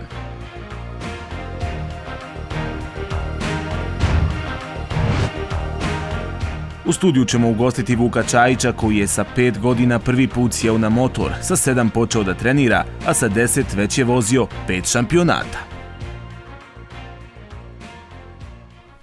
A prije najavljenih tema ćemo do Bihamka. Kakvo je stanje na putavima i graničnim prelazima saznaćemo od Emine Šehović. Emina, dobar dan. Dobar dan vama i vašim gledalcima. Povodom obilježavanja 29. godišnjice genocida nad građanima zaštićene zone UN i ukopa identificiranih žrtava Srebreničke tragedije u dane 10. i 11. 7. bit će na snazi zabrana prevoza eksplozivnih materija na teritoriji Federacije Bosne i Hercegovine kao i na putnim pravcima Drinjača, Konjević polje Milići, Konjević polje Bratunac Srebrenica, Drinjača Bratunac, Vlasenica Luke i Srebrenica e, Zeleni Jadar. Dana 11.7.2024. godine biće na snazi zabrana saobraćaja za teretna vozila preko 3,5 tone na svim putnim pravcima koji iz smjera Sarajeva, Tuzla i Zvornika vode ka Srebrenice. Jutros je u 8 sati iz Jajca krenula druga etapa biciklističkog memorialnog maratona Bihać Srebrenica 2024 i super maratona da se nikad ne ponovi i ne zaboravi. E, biciklisti, biciklisti i motoristi trenutno se nalaze u Travniku, dok su maratonci ušli na područje kantona Sarajevo, tačnije na područje općine Ilijaš. Molimo vozače da voze maksimalno oprezno i da poštuju sve saobraćajne propise. Brojne su dionice gdje se izvode sanacijoni radovi te se saobraća usporeno. Na graničnim prelazima nema dužih zadržavanja. Toliko iz informativnog centra Bihanka. Emina, hvala ti na ovim informacijama. A u nastavku ćemo prije svega riješiti vječitu dilemu oko sira prepoznatljivog u srcu Srednje Bosne. Da li se kaže vlašički ili tranički, je li to isti sir s obzirom na domaći kvalitet, kako ga brendirati? U studiju pozdravljam doktora veterinarske medicine i stravnika Alena Salkića koji vodi proces ili je možda bolje reći borbu da brendira tranički sir. Dobrodošli. Bolje vas našao. Doktor, dakle, Salkić, evo da pokušamo, kažem samo pokušamo na početku odmah da riješimo tu dilemu, je li Vlašički ili je Travnički? Pa nekoga zove Vlašički, neko Travnički. mislim da tu priču ovaj, treba konačno ovaj, riješiti u narednom periodu, ovaj, jer došli smo u jedan čorsokak, ovaj, evo zbog ovih dešavanja u našoj državi koje se, koje se inače uh, dešaju, dakle, doćemo vrlo brzo u situaciju da ćemo imati problem ovaj, uh, bez obzira što će se raditi, ja hoću da ukažem na neke uh, situacije koje nisu dobre ovom pokušaju da se to uradi. I dakle, ja želim da uputim dakle, jedan apel da se neke stvari malo poredaju drugačije, jer sada je trenutno situacija, kao što su mnoge stvari u Bosni i Hercegovini, da se radi od krova. Pravi se kuće od krova, što nije dobro. A vi biste da krenemo od temelja, kako pa, vi treba, je li tako? Mora, mora se ići od temelja, jer pazite, ovaj, uskoro će, uh, kad, ja se bojim samo, da će ova vlast, jer pazite, od 2002. do 2010. godine je najviše urađeno po tom pitanju i onda je stalo. Ja sam kao vječnik u... Hajmo krenuti redom. Dakle, evo, sva se priča svodi na brendiranje travničkog sira. Iznimno bitnog segmenta da, bi pristupio tržište Evropske unije. Je li tako? Šta se tu dešava? Vidite da vam kažem. kad je u pitanju travnički sir, on je proizvod koji absorbuje domaće tržište. Dakle, mi zaista ovaj, ne vidim nekog velikog razloga. dobro je da se on brandira, ali ga absorbuje domaće tržište. Dakle, zašto? Pa zato što je ta proizvodnja, evo sad u zadnji, recimo, hajmo reći 20 godina, pala na 10% proizvodnje koja je bila prije nakon uh, rata i dakle danas je to 20 godina dakle sve, svega spalo na 20% one proizvodnje koja je bila. Zašto? Pa zato što je se uh, određenim mjerama koje se radi proizvođač zapostavio. Ovo što se daje posticaj, to je to je priča za sebe, međutim ima nekih drugih stvari uh, koje naši ljudi, da, naši dakle a farmeri, e, recimo, teško prihvataju i akcenat je da se njima pomogne. A ne da se radi od krove. Evo, mi ćemo brandirati tranički sir, ja ću vam sad postati, ko će ga proizvoditi? Dakle, e, znate, evo, na traničkoj općine. A koga sada proizvodi? Pa proizvode ga farmeri koji imaju, recimo, 50 više godina. Za 3, 4, 5 godina njih će nestati. Ko će ga onda proizvoditi? A mlađa populacija nije zainteresirana ne. ili... Pa zato što nije država omogućila adekvatne uslove da se nisu oni prepoznati. Dakle, prepoznat je sir kao proizvod. Jer pazite, evo, ja ću se malo ovaj, vratiti na, na tu priču. Od 2002. do 2010. na području e, Srednjoboskog kantona, kad je premijer bio gospodin Savko Salman, tada je najviše urađeno na tome, zato što je se prepoznao proizvođač. A danas se prepoznaje proizvod. Čekajte, nekoga mora proizvesti. Pa vidim tamo u medijima da je objavljeno. Ne znaju ni kako se zove ovca. To je dubska pramjenka, dakle, ovca sa općine Travnik, dakle, sa, iz jednog sela koje se zove Dub koje recimo ima i danas dan e, poprilično je e, zadržana ta proizvodnja. Ali ja se pitam dokle, ljudi nisu prepoznati, ostaju, ostavljaju, odlaze. Dakle, nije to baš tako kao što izgleda. Lijepo je čuti da se to treba i treba se. Ja to podržavam. dakle, ovdje je i borba za samo opstanak i proizvodnju sira u, da, da, u, nekoj Jer pazite, proizvođač je zapostavljen. Proizvođač. Dakle, uh, ovca, pazite, imaju naše ljude navike. Te navike nisu prepoznate u zakonu. Kad sam bio u Njemačkoj i kad sam pitao ove njihove zakonodavce, kako ste napravili zakone? Pa kažu na osnovu navika stočara. Ja sam imao priliku da radim jedan projekat kad smo radili radioaktivnost ovaj, na Vlašću. Profesor sa poljoprivrednog fakulteta traži mlijeko dubske pramjenke u januaru. To je nonsens. Dakle, tada, jer tada toga nemate. To je jedan vrlo, hajmo reći, ovaj, uh, uski period kada ona daje mlijeko.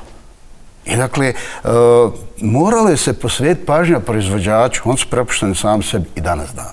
I zato je pitanje što će biti. S obzirom da se radi dakle o negdje općinskom evo, stvari, dakle travnik, travnički sir, vlašić, imate li podršku općine? Je li neku općini prepoznao važnost, dakle evo, pa i oni će negdje se prepoznati kroz ovaj sir? Vidite da vam kažem, kad sam bio općinski vječnik period 2012-2016, tadašnji načelnik je osporavao svaku ideju. Nisam dobio uopšte priliku federalnom ministarstvu da prezentiram to nisu imali sluha. Sad je pokrenuto, nakon, pogotovo nakon ove naučne konferencije u organizaciji Bosanskog kulturnog kruga u Travniku, a ja sam se tada obratio uh, jednom svojom, ajmo reći, studijom, uh, travni grad autohtoni pasmina. Jer nemate ni jedan grad u Bosni i Hercegovini koji ima više tog domaćeg znamentog, dakle, ono što, što je uh, iz Bosne i Hercegovine ne osporavajući sve druge vrijednosti koje ova naša lijepa država ima, Dakle, zemlja, reći zemlja, ovo je jedna prekrasna zemlja. Dakle, imamo travnički, dakle, uh, hajmo reći, travničku tu ovcu, pa imamo, dakle, goluba, pa satornjaka, pa ne znam, mnogo što što, pa i travnički sir, odnosno vlaški. Jedno vrijeme se, vidite, znate zato što je nastala priča travnički i vlaščki. Nije sad travnički, nego je vlaščki. Nastala je iz razloga toga zato što su ovi ljudi koji ga proizvode na vlašću rekli, ali mi ga proizvodimo na vlašću kako će on biti travnički, gdje će ga proizvesti travniku. Dakle, to su sad više uh, stvari, uh, hajmo reći... Ovaj, uh, A kako je za vas ispravno? Pa to vam je polutvrdi sir od ovčeg mlijeka. Dakle, i nek se zove kako hoće, samo da se da država stane iza toga. Jer pazite, problem je u otkupu proizvodnje. Problem vam je uh, još u tome što proizvođač kao proizvođač nije prepoznat. Država je krenula da pravi brand i ja pitam e, ko će ga za 5 do 10 godina proizvoditi i ta proizvodnja je već sad pala na neki 20%, koji absorbuje domaće tržište. Da, ali evo obraćali ste se dakle, vlastima, kojih, sam, pa evo, koji bit... konkretno nivoa, šta su vam tada rekli? A, pa Prepoznaju li oni dakle, jednostavno travnički, su misli, vlasički sir kao brend? Ma oni to, hajmo reći, sad je malo uh, priča oko toga, pa evo, ja čestitam ovaj, uh, ovom sadašnjem načinalniku općine, što je podzao neko, i evo, ovome e, ministru poljoprivrede e, Srednjoborskom kantonu, odnosno kantona Središnja Bosna, Bosna, da su nešto kao potpisali ugovor, nešto su, ali u toj izjavi, ja ne vidim, on ne znaju kako se zove ovca, ne znaju kako se zove sir, šta ćete brandirati? Dakle, i to je ono što se radi kuće od krova. Proizvođač je zapostavljen, to je ključna stvar u ovoj čitavoj priči. Kako u ovom momentu pomoć proizvođačima da opstane sama proizvodnja? Ha, vidite da vam kažem, uh, treba lokalizirati to područje, dakle, geografska, dobar je pristup koji radi naučni institut i, hajde, lokalizacija. Međutim, treba tim ljudima, uh, hajmo reći, uh, eh, obećati uh, eh, ko će da otkupi, siguran otkup, toga nema, on se snalaze. I danas dan se one snalaze. I vidite, ovo što je urađeno bilo od 2010. Neki ozbiljniji proizvođači, slični proizvoda, su nastali da to po svaku cijenu poremete.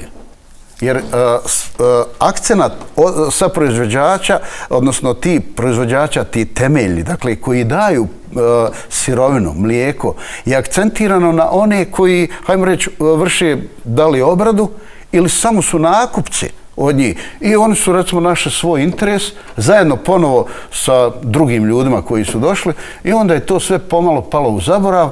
A kad sam pokrenuo u ideje 2012. 2016. stalno su me pitali za recept. Ja kažem, čekajte, recept, recept vam je nešto što je, hajmo reći, ovaj, hajmo, bitno, ali nije toliko kao onaj ko daje sirovinu.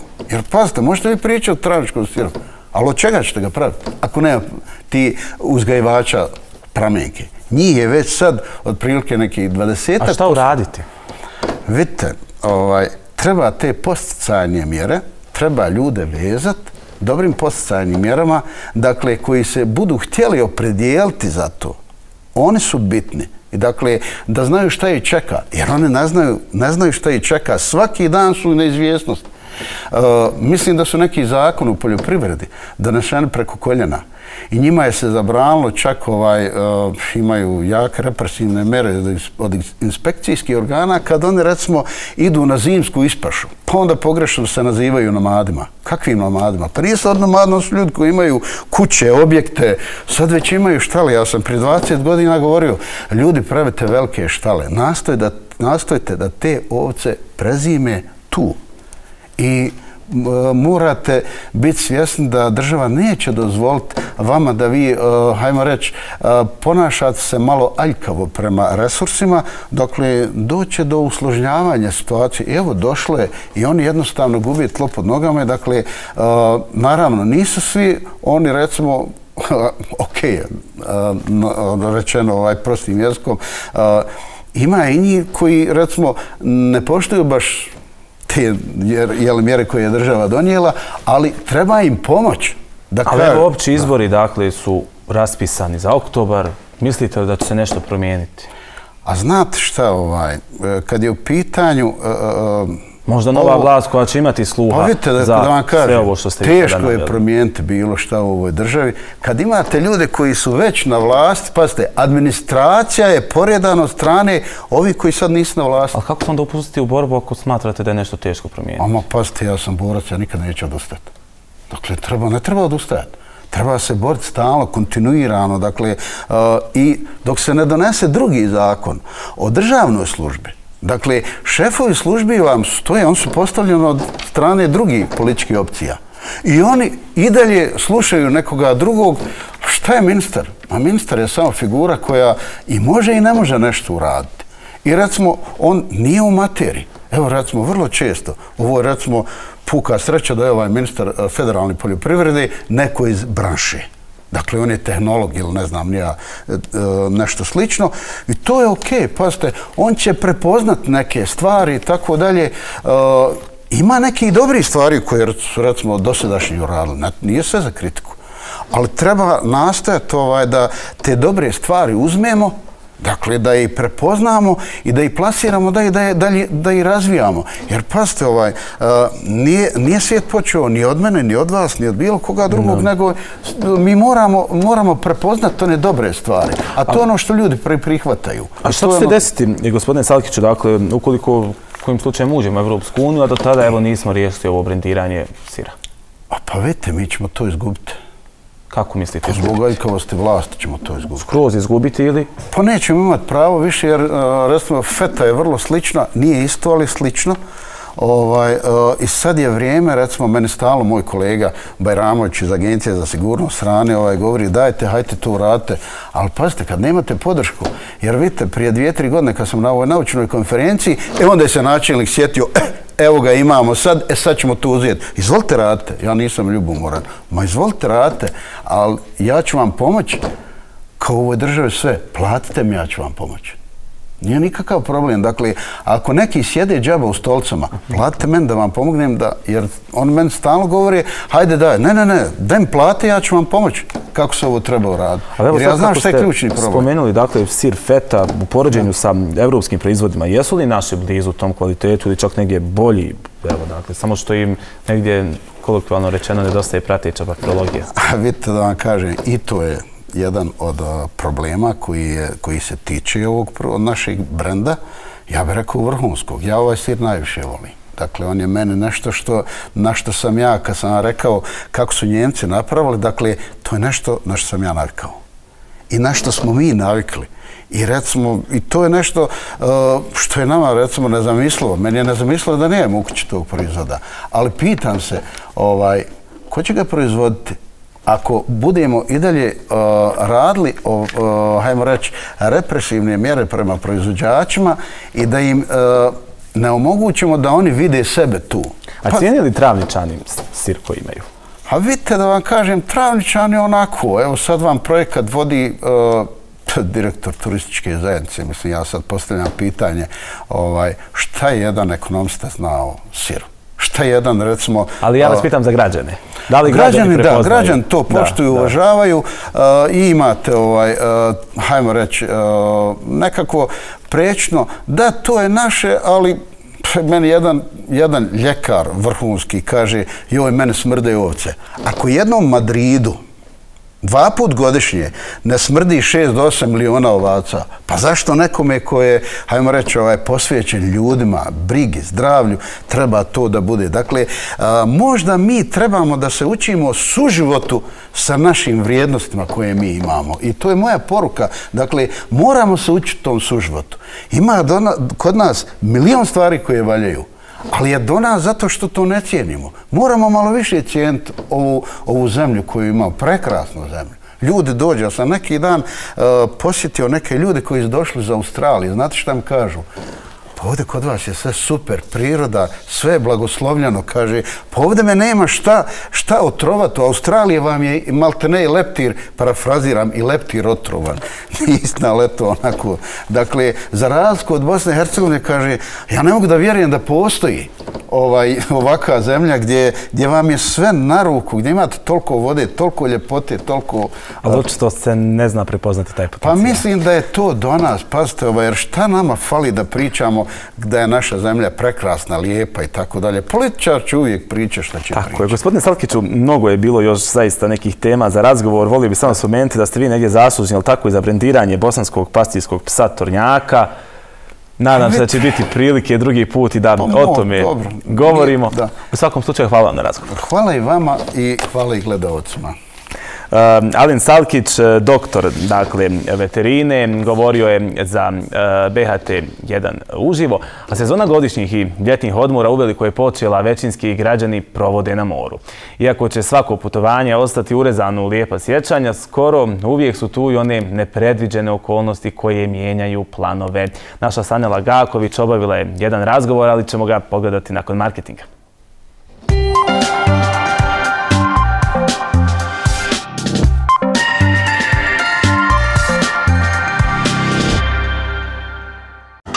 Zašto ne?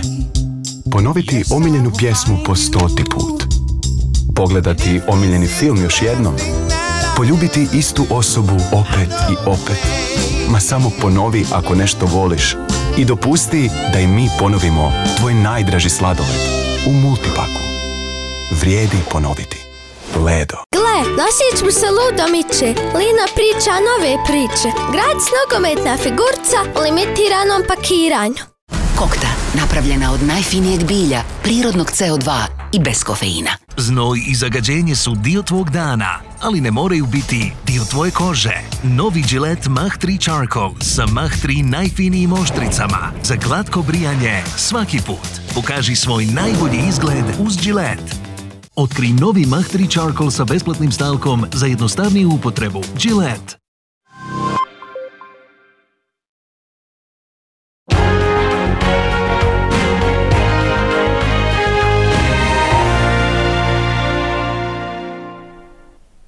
Kako sam i kazao, dakle, sezona je godišnjih odmora, a važno je na vrijeme se pripremiti za boravak u drugoj zemlji, odnosno osigurati zdravstvenu zaštitu. Kako i na koji način o svemu tome sa glasnogovornicom Zavoda zdravstvenog osiguranja HNK razgovarala je kolegica Sanja Lagaković.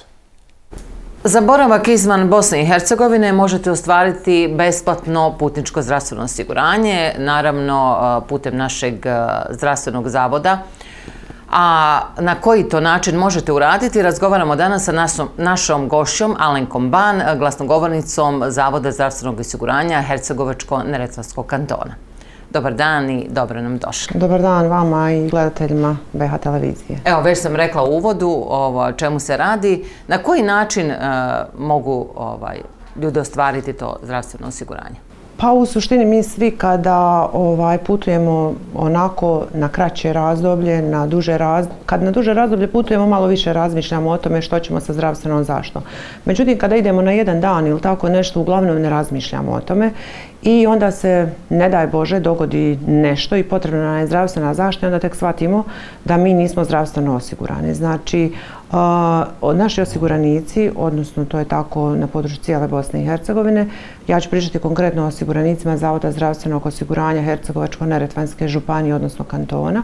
Kada krenu izvan, ovaj, izvan Bosne i Hercegovine, trebaju da uzmu zdravstveno osiguranje. Opet vam kažem, malo ljudi o tome razmišljaju, ali kada se desi problem, onda onda je to u istinu problem. Znači, prije odlaska na put, e, osiguranici mogu i trebali bi pribaviti zdravstveno osiguranje. Zdravstveno osiguranje e, mogu pribaviti putem našeg zavoda. Znači, osiguranici kada idu na putovanje izvan Bosne i Hercegovine, oni e, trebaju, kako bi ostvarili pravo na hitna medicinska riječ o hitnim medicinskim davanjima, znači nije to vi odete u drugu zemlju, pa odete kod liječnika, eto tako jednostavno, onako malo da se pregledate ili ste čuli da postoji negdje dobar stručnjak, ne. To, su, to je zdravstveno osiguranje za hitna medicinska davanja. Da, ako se nešto desi, znači neka znači, nesreća, nešto ne... U slučaju, ne daj Bože, neke nesreće ili nekog hitnog stanja, da osiguranik ima zdravstveno osiguranje, odnosno da može imati ta hitna medicinska davanja koja su jel, neophodna kako bi se spasio ovaj život ili ako je život ugrožen. Znači, ona prvi korak koji treba osiguranik poduzeti je otići kod svog izabranog liječnika i liječnik temeljem neposrednog e, pregleda, uvida u njegov karton i eventualno vađenje određenih nalaza koji su potrebni, daje ocjenu ovaj, ocjenu zdravstvenog stanja osigurane osobe.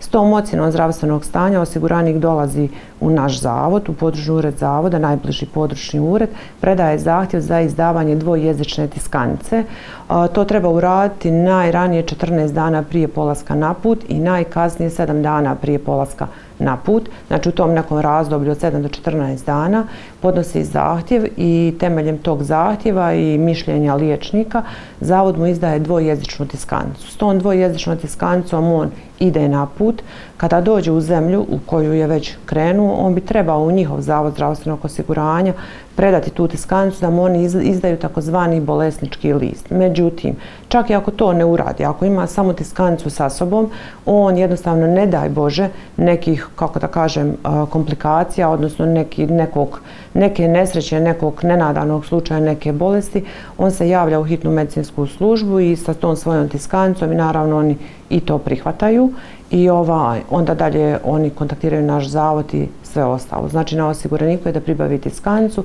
i da tu tiskanicu ima ovaj kod sebe. Ono što je jako bitno kazati je da ovaj da se to odnosi samo na njihove zdravstvene ustanove koje su u sustavu javnog zdravstva, tako da ovaj, jel, moraju se javiti u hitnu. E, interesuje me da li kad putujem u, ne, u svaku znači, zemlju ili, imamo, ili naša zemlja ima ugovor sa samo određenim zemljama u kojima možemo koristiti to besplatno zdravstveno osiguranje? Zdravstveno osiguranje imamo u zemljama s kojima Bosna i Hercegovina ima potpisane međunarodne ugovore o socijalnom osiguranju.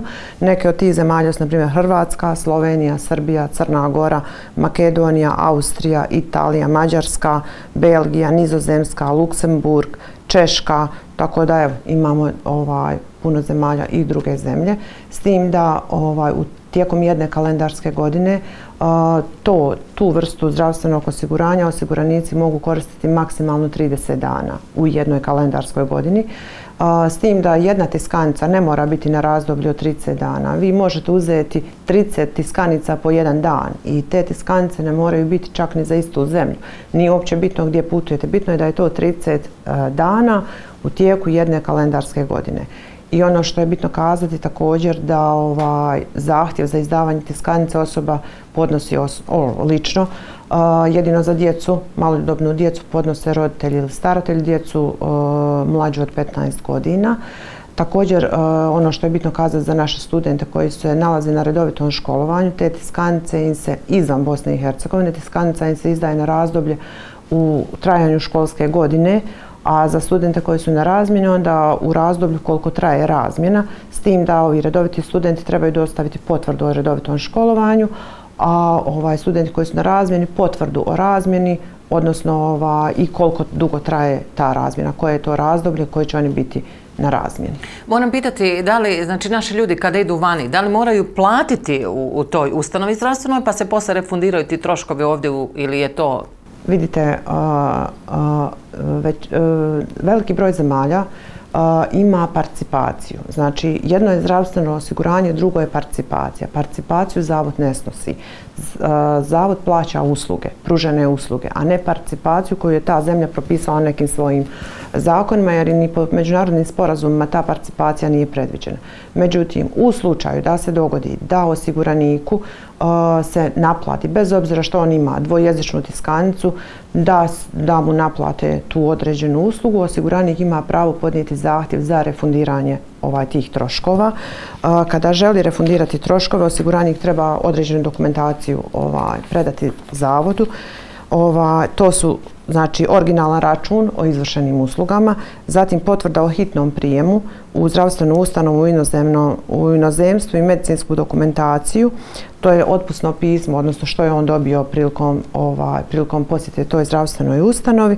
Originalnu dvojezičnu tiskanicu koju on ima kod sebe, jer ne treba nikome davati, ako je on već platio to onda oni mora imati kod sebe, e, presliku tekućeg računa ili štedne knjižice u konvertibilnim markama i originalnu punomoć ukoliko je uz zahtje priložena preslika tekućeg računa ili štedne knjižice neke druge osobe.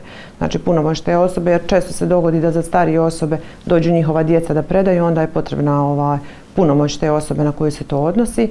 I onda naše liječničko povjerenstvo razmatra je li to bilo opravdano, je li to uistinu bilo hitno medicinsko davanje i temeljem toga, ako se utvrdi da je to bilo hitno medicinsko davanje, onda se to refundira i upravo iz tih razloga je potreban ovaj broj tekućeg računa na koji zavod može uplatiti ta sredstva koja refundira osiguraniku. Alenka, ja mislim da smo sve pokrili, smo sve rekli, ima pa još ja nešto da smo... vjerujem da jesmo. Ja vjerujem da jesmo. Se tiče ovoga zdravstvenog osiguranja. Ono što bih ja samo možda naglasila i u istinu bi to na neki način apelirala na naše osiguranike da zaista kada napuštaju Bosnu i Hercegovinu, da zaista razmišljaju o zdravstvenom osiguranju, da vode računa o zdravstvenom osiguranju, jer ne znamo kada nam se može dogoditi bilo kakva nezgoda ili bilo kakav zdravstveni problem. Mislim, svjedoci smo da stvarno ovaj, ni godine, ni bilo što više nema nekakvu da kažem da to nije nekakav garan, da će sve proći kako treba. Najgore je kada se nađemo u situaciji da smo negdje vani i onda nam se još dogodi neki zdravstveni problem, onda, onda smo tek, da kažem, u problemu. Jednostavno moramo na neki način podići svijest naših ljudi da moraju razmišljati o tome kad napuste Bosnu i Hercegovinu, onda oni više nemaju zdravstvenog osiguranja, ukoliko nemaju tiskancu ili eventualno ako ne pribave neko putničko osiguranje, neke osiguravajuće kuće, ali to je već nešto u šta zavod ne ulazi. Ovaj dio vezano za tiskanice je ovaj dio gdje im zavod osigurava zdravstvenu hitnu medicinsku ovaj pomoć. Opravo pa ste, većina zavod. ljudi ne, ne vadi to zdravstveno, pogotovo ako ide na jedan dan. To je, to je vrlo neskodno. To vrlo zna biti onako, zamislite da skoči tlak, zamislite da skoči šećer, da morate u hitnu zamislite da nemate zdravstveno osiguranje i onda u svu muku ljudsku što mu se događa taj zdravstveni problem, pitanje je koliko će to koštati i ima li čovjek toliko novca sa sobom i gdje može taj novac podignuti jer u hitnoj sigurno ne možete platiti karticom, bar mislim da se još uvijek ne može platiti karticom. Tako da onda od jednog problema imamo još sto dodatnih problema, tako da ova, i za nas i za porodicu, tako da mislim da moram, bi trebali o tome početi onako ozbiljno razmišljati. Alenka, hvala vam na ovom razgovoru i hvala vam što ste bili gošća u našem programu BHT1 uživo. Hvala vama. Toliko iz Mostara. Najavili smo da ćemo u studiju gostiti 13-godišnjeg Vuka Čajića koji je sa 5 godina prvi put sjeo na motora sa 7 počeo da trenira. Sa deset godina već je vozio pet šampionata, danas je šampion Bosne i Hercegovine u motokrosu u klasi MX85. Pozdravljam šampiona Vuka Čajića i njegovog oca te trenera Miroslava. Dobro nam došli. Dobar dan, bolje vas našli. Prije svega, Vuče, dakle, čestitam ti na svim uspjesima. Evo, vidimo, studio je preplavljen uh, tvojim peharima. Vidim da na majici ste, dakle, već negdje brendirali sve ono što radite. Vuk Čajić 365, šta bi to predstavljalo? Ajde, uče. Pa, to predstavlja neki, e, neki simbol, znak. E, moj prvi broj na motoru bio je 365 i tako, je, tako sad radimo i brendove majica, neke stikere i tako. Pisao sam da je ono kao aktivan sam 365 dana u godinu, ali može i to da bude, je li tako, gospodine Miroslav? Da, da, da. Pa prvo ideja je bila ovaj, da Vukova da vozi 3, 365 dana u godini. Pa mislim da je sada smanjio taj broj na 97, jer sad nosi broj 97 na svom motociklu. E, Vuče, kako je sve u suštini krenulo? Evo, dakle, spomenuo sam u najavi da si sa 10 godina vozio pet šampionata. Koje je to sve? E, voz, vozio sam šampion, e, šam, šampionat Bosne i Hercegovine, Srbije, Hrvatske, Istočne Evrope i, i Alpe Adria. Čestitam. Otkud ljubav prema ovom sportu? E, pa prvo krenuo, krenuo, moj tata je vozio, zatim krenuo je moj stariji brat. E, onda sam ja vidio od njih i tako sam ja tražio da mi tata kupi motor, on je kupio i tako je sve krenulo. Gospodine Miroslav, ima li tu neki dobna granica, dakle, kada dijete može da sjedne na motor, kako je to regulisano, je li opasno pustiti dijete na jedan tako, pa mogu slobodno reći, izazovan sport? Uh, što se tiče motokrosa, motokros jeste kombinacija psihofizičkih sposobnosti vozača sa performansama motocikla. Ovaj, klase, se, klase postoje u motokrosu, to su klase uh, MX50, 65, 85, 125, MX2 i MX1. To su neke profesionalne klase. Postoje amaterske klase, MX Turist, MX Veteran, zavisno od zemlje u kojoj se ovaj, to vozi. E, što se tiče starostne dobi, e, može da počne da vozi vozač znači, od e, 8 godina pa nadalje, kao što je Vuk počeo i dok se on osjeća da sposobni da može voziti. Što se tiče te opasnosti, mnogi me pitaju da li je to opasan sport. Ovaj, šta je danas predstavlja opasan sport? Opasno je baviti se i futbalom. Ali opasno po život? Pa dobro, opasno je, opasno je i voziti bicikl, je li tako? Jeste. Motocikl, motocross nije samo da sjedete na motor i da vozite. Već prije toga prethode neke druge faze, a to je fizička priprema vozača. A vožnja motocikla i na kraju tek dolazi. Znači, prije, prije sedanja na motocikl, vozač mora biti fizički i psički sposoban da može da rukuje tim motociklom. Evo dakle, spomenuli ste negdje i same klase. E, ti si Vuče sa 13 godina osvojio šampionat e, u Bosni i Hercegovini, dakle u motokrosu u klasi MX85. Možete li nam malo pojasniti dakle, te klase? Šta je MX85? Evo za naše gledalce koji možda prvi put to čuju. Klasa MX85 to je klasa u kojoj e, vozači voze sa motociklima od 85 kubika. E, to je motocikl od standardnih 24 e, konjske snage i to je to. Dakle, tako se klase prave na osnovu... Da, kubikaže motocikla. MX-50, znači 50 kubika, oni su automatskim minjačem. 65-65 kubika sa manuelnim minjačem, 85, znači to su dotakni sve motori sa, sa tom kubikažom. Što se tiče motokrosa, MX je to, znači da je oznaka za motokros, kraćinica motokros motocikli moraju imati tu kubikažu, tu zapremu koju pripadaju toj, toj klasi, a konjske snage se mogu povećavati, znači nekim tuniranjem, mijenjanjem dijelova, dodavanjem nekih e, drugih sistema i slično. Evo, Vuk, na primjer, on ima e, dva motocikla, jedan je standardni tu koji, koji, s kojim trenira, a drugi je za trke koji je pojačan dosta sa nekim dijelovima za tuniranje, promijenjeno usis, izduv, glava, e, motora, elektronika i posebna suspenzija koja se pravi za tog vozača sa, za, sa tom kilažom. E, Vuke, dakle, poštovani gledalci, pored titule prvaka Bosne i Hercegovine, već treći put zaredom vice prvak Alpe Adria šampionata koji uključuje Bosnu i Hercegovinu, Hrvatsku i Srbiju. Kako i gdje se sve vuče voze te trke, dakle, i kako se one boduju? E, te, te trke e, voze se inače u, prvo, e, u Srbiji, Hrvatskoj i u Bosni i Hercegovini. Tu u, u Srbiji to je bilo e, prije u Hruševcu, u Bosni i Hercegovini u Kreševu. Ove godine je bilo to u Pakracu u Hrvatskoj. E, tu dolaze vozači iz raznih zemalja i Kako se boduju? Dakle, to je vrijeme, jeli, u, u kojem ti stigneš do cilja, prvi, drugi, treći, ili kako dakle izgleda samo to? E, da, e, bodujemo se po, po vremenima kojima najbrže vrijeme, onda on, on bira prvo startnu rampu za, za trku i onda taj plasman odlučuje bodove i, ko, se, ko, i onda se to sabira, ako bude imao najviše bodova, e, pa onda prvi, drugi i treći. Je li ta kaciga pored tebe ono što te prati negdje na svim tim tvojim utrkama?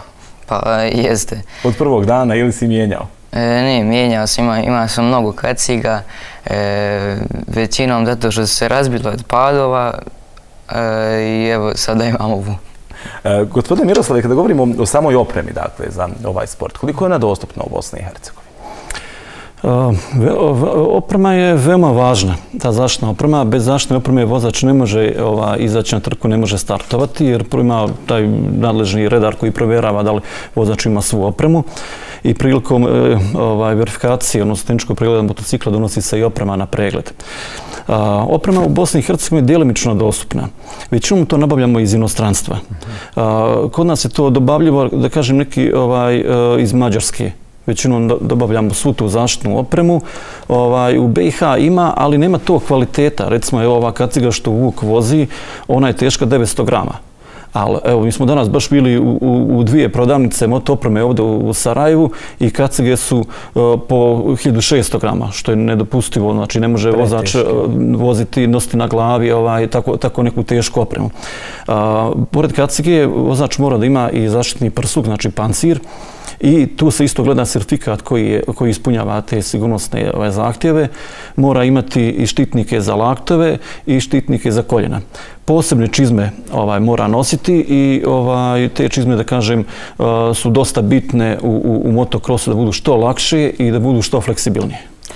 Vi ste dakle neku koje, kako ste i kazali, pomoćni trener, je li tako? Amatirski ste počeli da se bavite e, motokrosom. Da li vam na neki način prija to što sin negdje želi da slijedi sa noca? Pa, apsolutno. Apsolutno. Ovaj, e, moram pomijeniti da mi dolazimo iz jedne, iz jednog malog grada u, u istočnoj Bosni i Hercegovini. Rogaca se zove. Rogaca je poznata uvijek bila po moto, motosportu. Ranije se 60. godina vozile kružne trke kroz grad, da bi 80. godina napravila se motocross staza na stazi Plički tu u Rogatici. I od se voze motocross trke. Ova, I da kažem, san svakog dječaka jeste da ovaj, vozi motocikli i da imamo neki motocikli. Ovaj, ja sam e, vozio amaterski ovaj, motocross, uvijek čitav život sam vozio neki motocikl i veoma mi je drago što moj sin, odnosno moji sinovi što voze motore, a posebno što se Vuk ovako dokazao i iskazao u ovom motokrosu, jer Vuk, ovaj, da kažem, pripada jednoj generaciji motokros vozača u Bosni i Hercegovini koji će ovaj sport pomjeriti, pomjeriti granice ovog sporta. A Vuče, kako izgleda evo, tvoj dan pripreme? Kako izgleda tvoj trening? Gdje treniraš i da li, dakle, evo, možete i vi nakon toga, gospodine Miroslav, odgovoriti, imate neku pomoć od institucija s obzirom da znamo da sport danas zaista košta? Pa, treninge vodim četiri, e, tri, četiri dana sedmično. U Rogatici, jel? U Rogatici, da. E, trenutno naša staza nije uslovna za treninge, zato pored imamo još neku e, manju stazu. To smo napravili samo za treninge, tu, tu su samo neke krivine bez kokova. E, kao što sam rekao, tri, četiri puta sedmično treniram. I koliko traje jedan trening, evo dnevni? Traje sat, sat i pol, tako. I kako se on sastoji, šta radi, šta što na treningu? Ili svaki put nešto različito ili, dakle, to su neke, pretpostavljam, različite discipline? Ili ne? Ne baš. Ovaj, što se tiče treninga, tamo uh, trening se sastoji, uh, to su intervalni treningi, treningi brzine. Mm -hmm. Mi znamo čitav trening da bježbamo samo dvije krivine. Samo dvije krivine i recimo i neku dionicu bježbamo od, od 10 sekundi. I recimo sada e, što Vukov trener kaže, e, sve je to matematika. Gledamo to 10 sekundi i da spustimo jednu sekundu. Pa znači da ćemo u minutu, ako imamo o, o, tu neku dionicu, da ćemo spustiti 6 sekundi. I ako ovaj, trka, e, krug traje 2 minuta, znači već imamo 12 sekundi da smo, da smo spustili tom nekom dinamikom. Znači imamo neke kratke intervale da vježbamo. Ta staza koju je Vuk pomenuo, ta kraća koju, koja nam služi samo za vježbanje tehnike, jer naša stada sada e, nije još u, u funkciji ta na ptičijaku koja, koja, koja ima. E, tu stazu vozimo i pokušamo što brže da prođe sve krivine.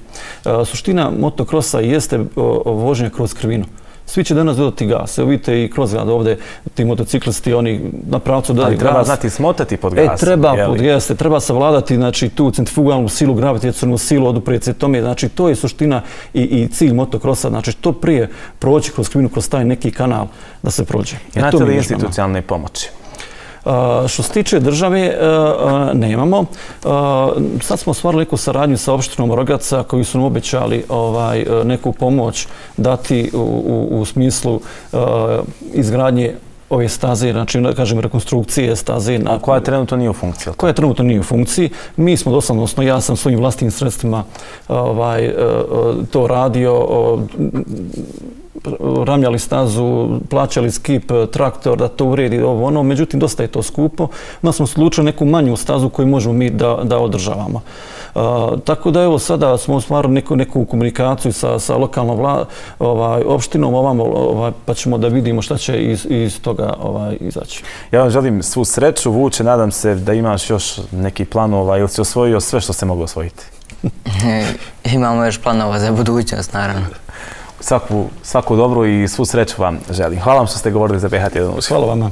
Dakle, Vuk Čajić i njegov otac, pomoćni trener Miroslav, šampion e, Bosne i Hercegovine u motokrosu, govorili su za BHT1 uživo, a vrijeme je, poštovani gledalci, da saznamo i šta nas očekuje večeras u Dnevniku 2. Stoga idemo do multimedijalnog deska i kolegice Adise Dedić-Kološ. Još jednom lijep pozdrav iz Deska. U Dnevniku večeras donosimo izvještaje i informacije o svim događajima u vezi sa obilježavanjem 29. godišnjice genocida u Srebrenici. Od ispraćaja tabuta, od visokog do potočara, marša mira, nezuk potočari, kao i maratone u znak sjećanja na žrtve genocida. Pogledajte i dio iz intervjua s visokim predstavnikom Kristijanom Šmitom, kao i cijeli intervju odmah nakon Dnevnika. A u Dnevniku donosimo i šta je Vijeće sigurnosti UN-a zaključilo nakon rasprave o ruskom raketnom napadu na dječju bolnicu u Kijevu. Počeo je drugi toplotni val. U Dnevniku saznajte kolike će temperature biti, koliko će trajati i kako se zaštititi posebno ako ćete boraviti na otvorenom. Ovo je dio sadržaja večerašnjeg dnevnika. Budite s nama u 19 sati. Adisa, hvala ti na ovoj najavi e, dnevnika. Poštovani gledalci, e, apropo e, ove posljednje teme o kojima smo govorili, samo još kratka napomena da će 18. augusta za sve oni koji jeli, žele i koji su ljubitelji motokrosa biti održane dakle, trke, motokros trke u Rogaticija. Evo i vremenske prognoze.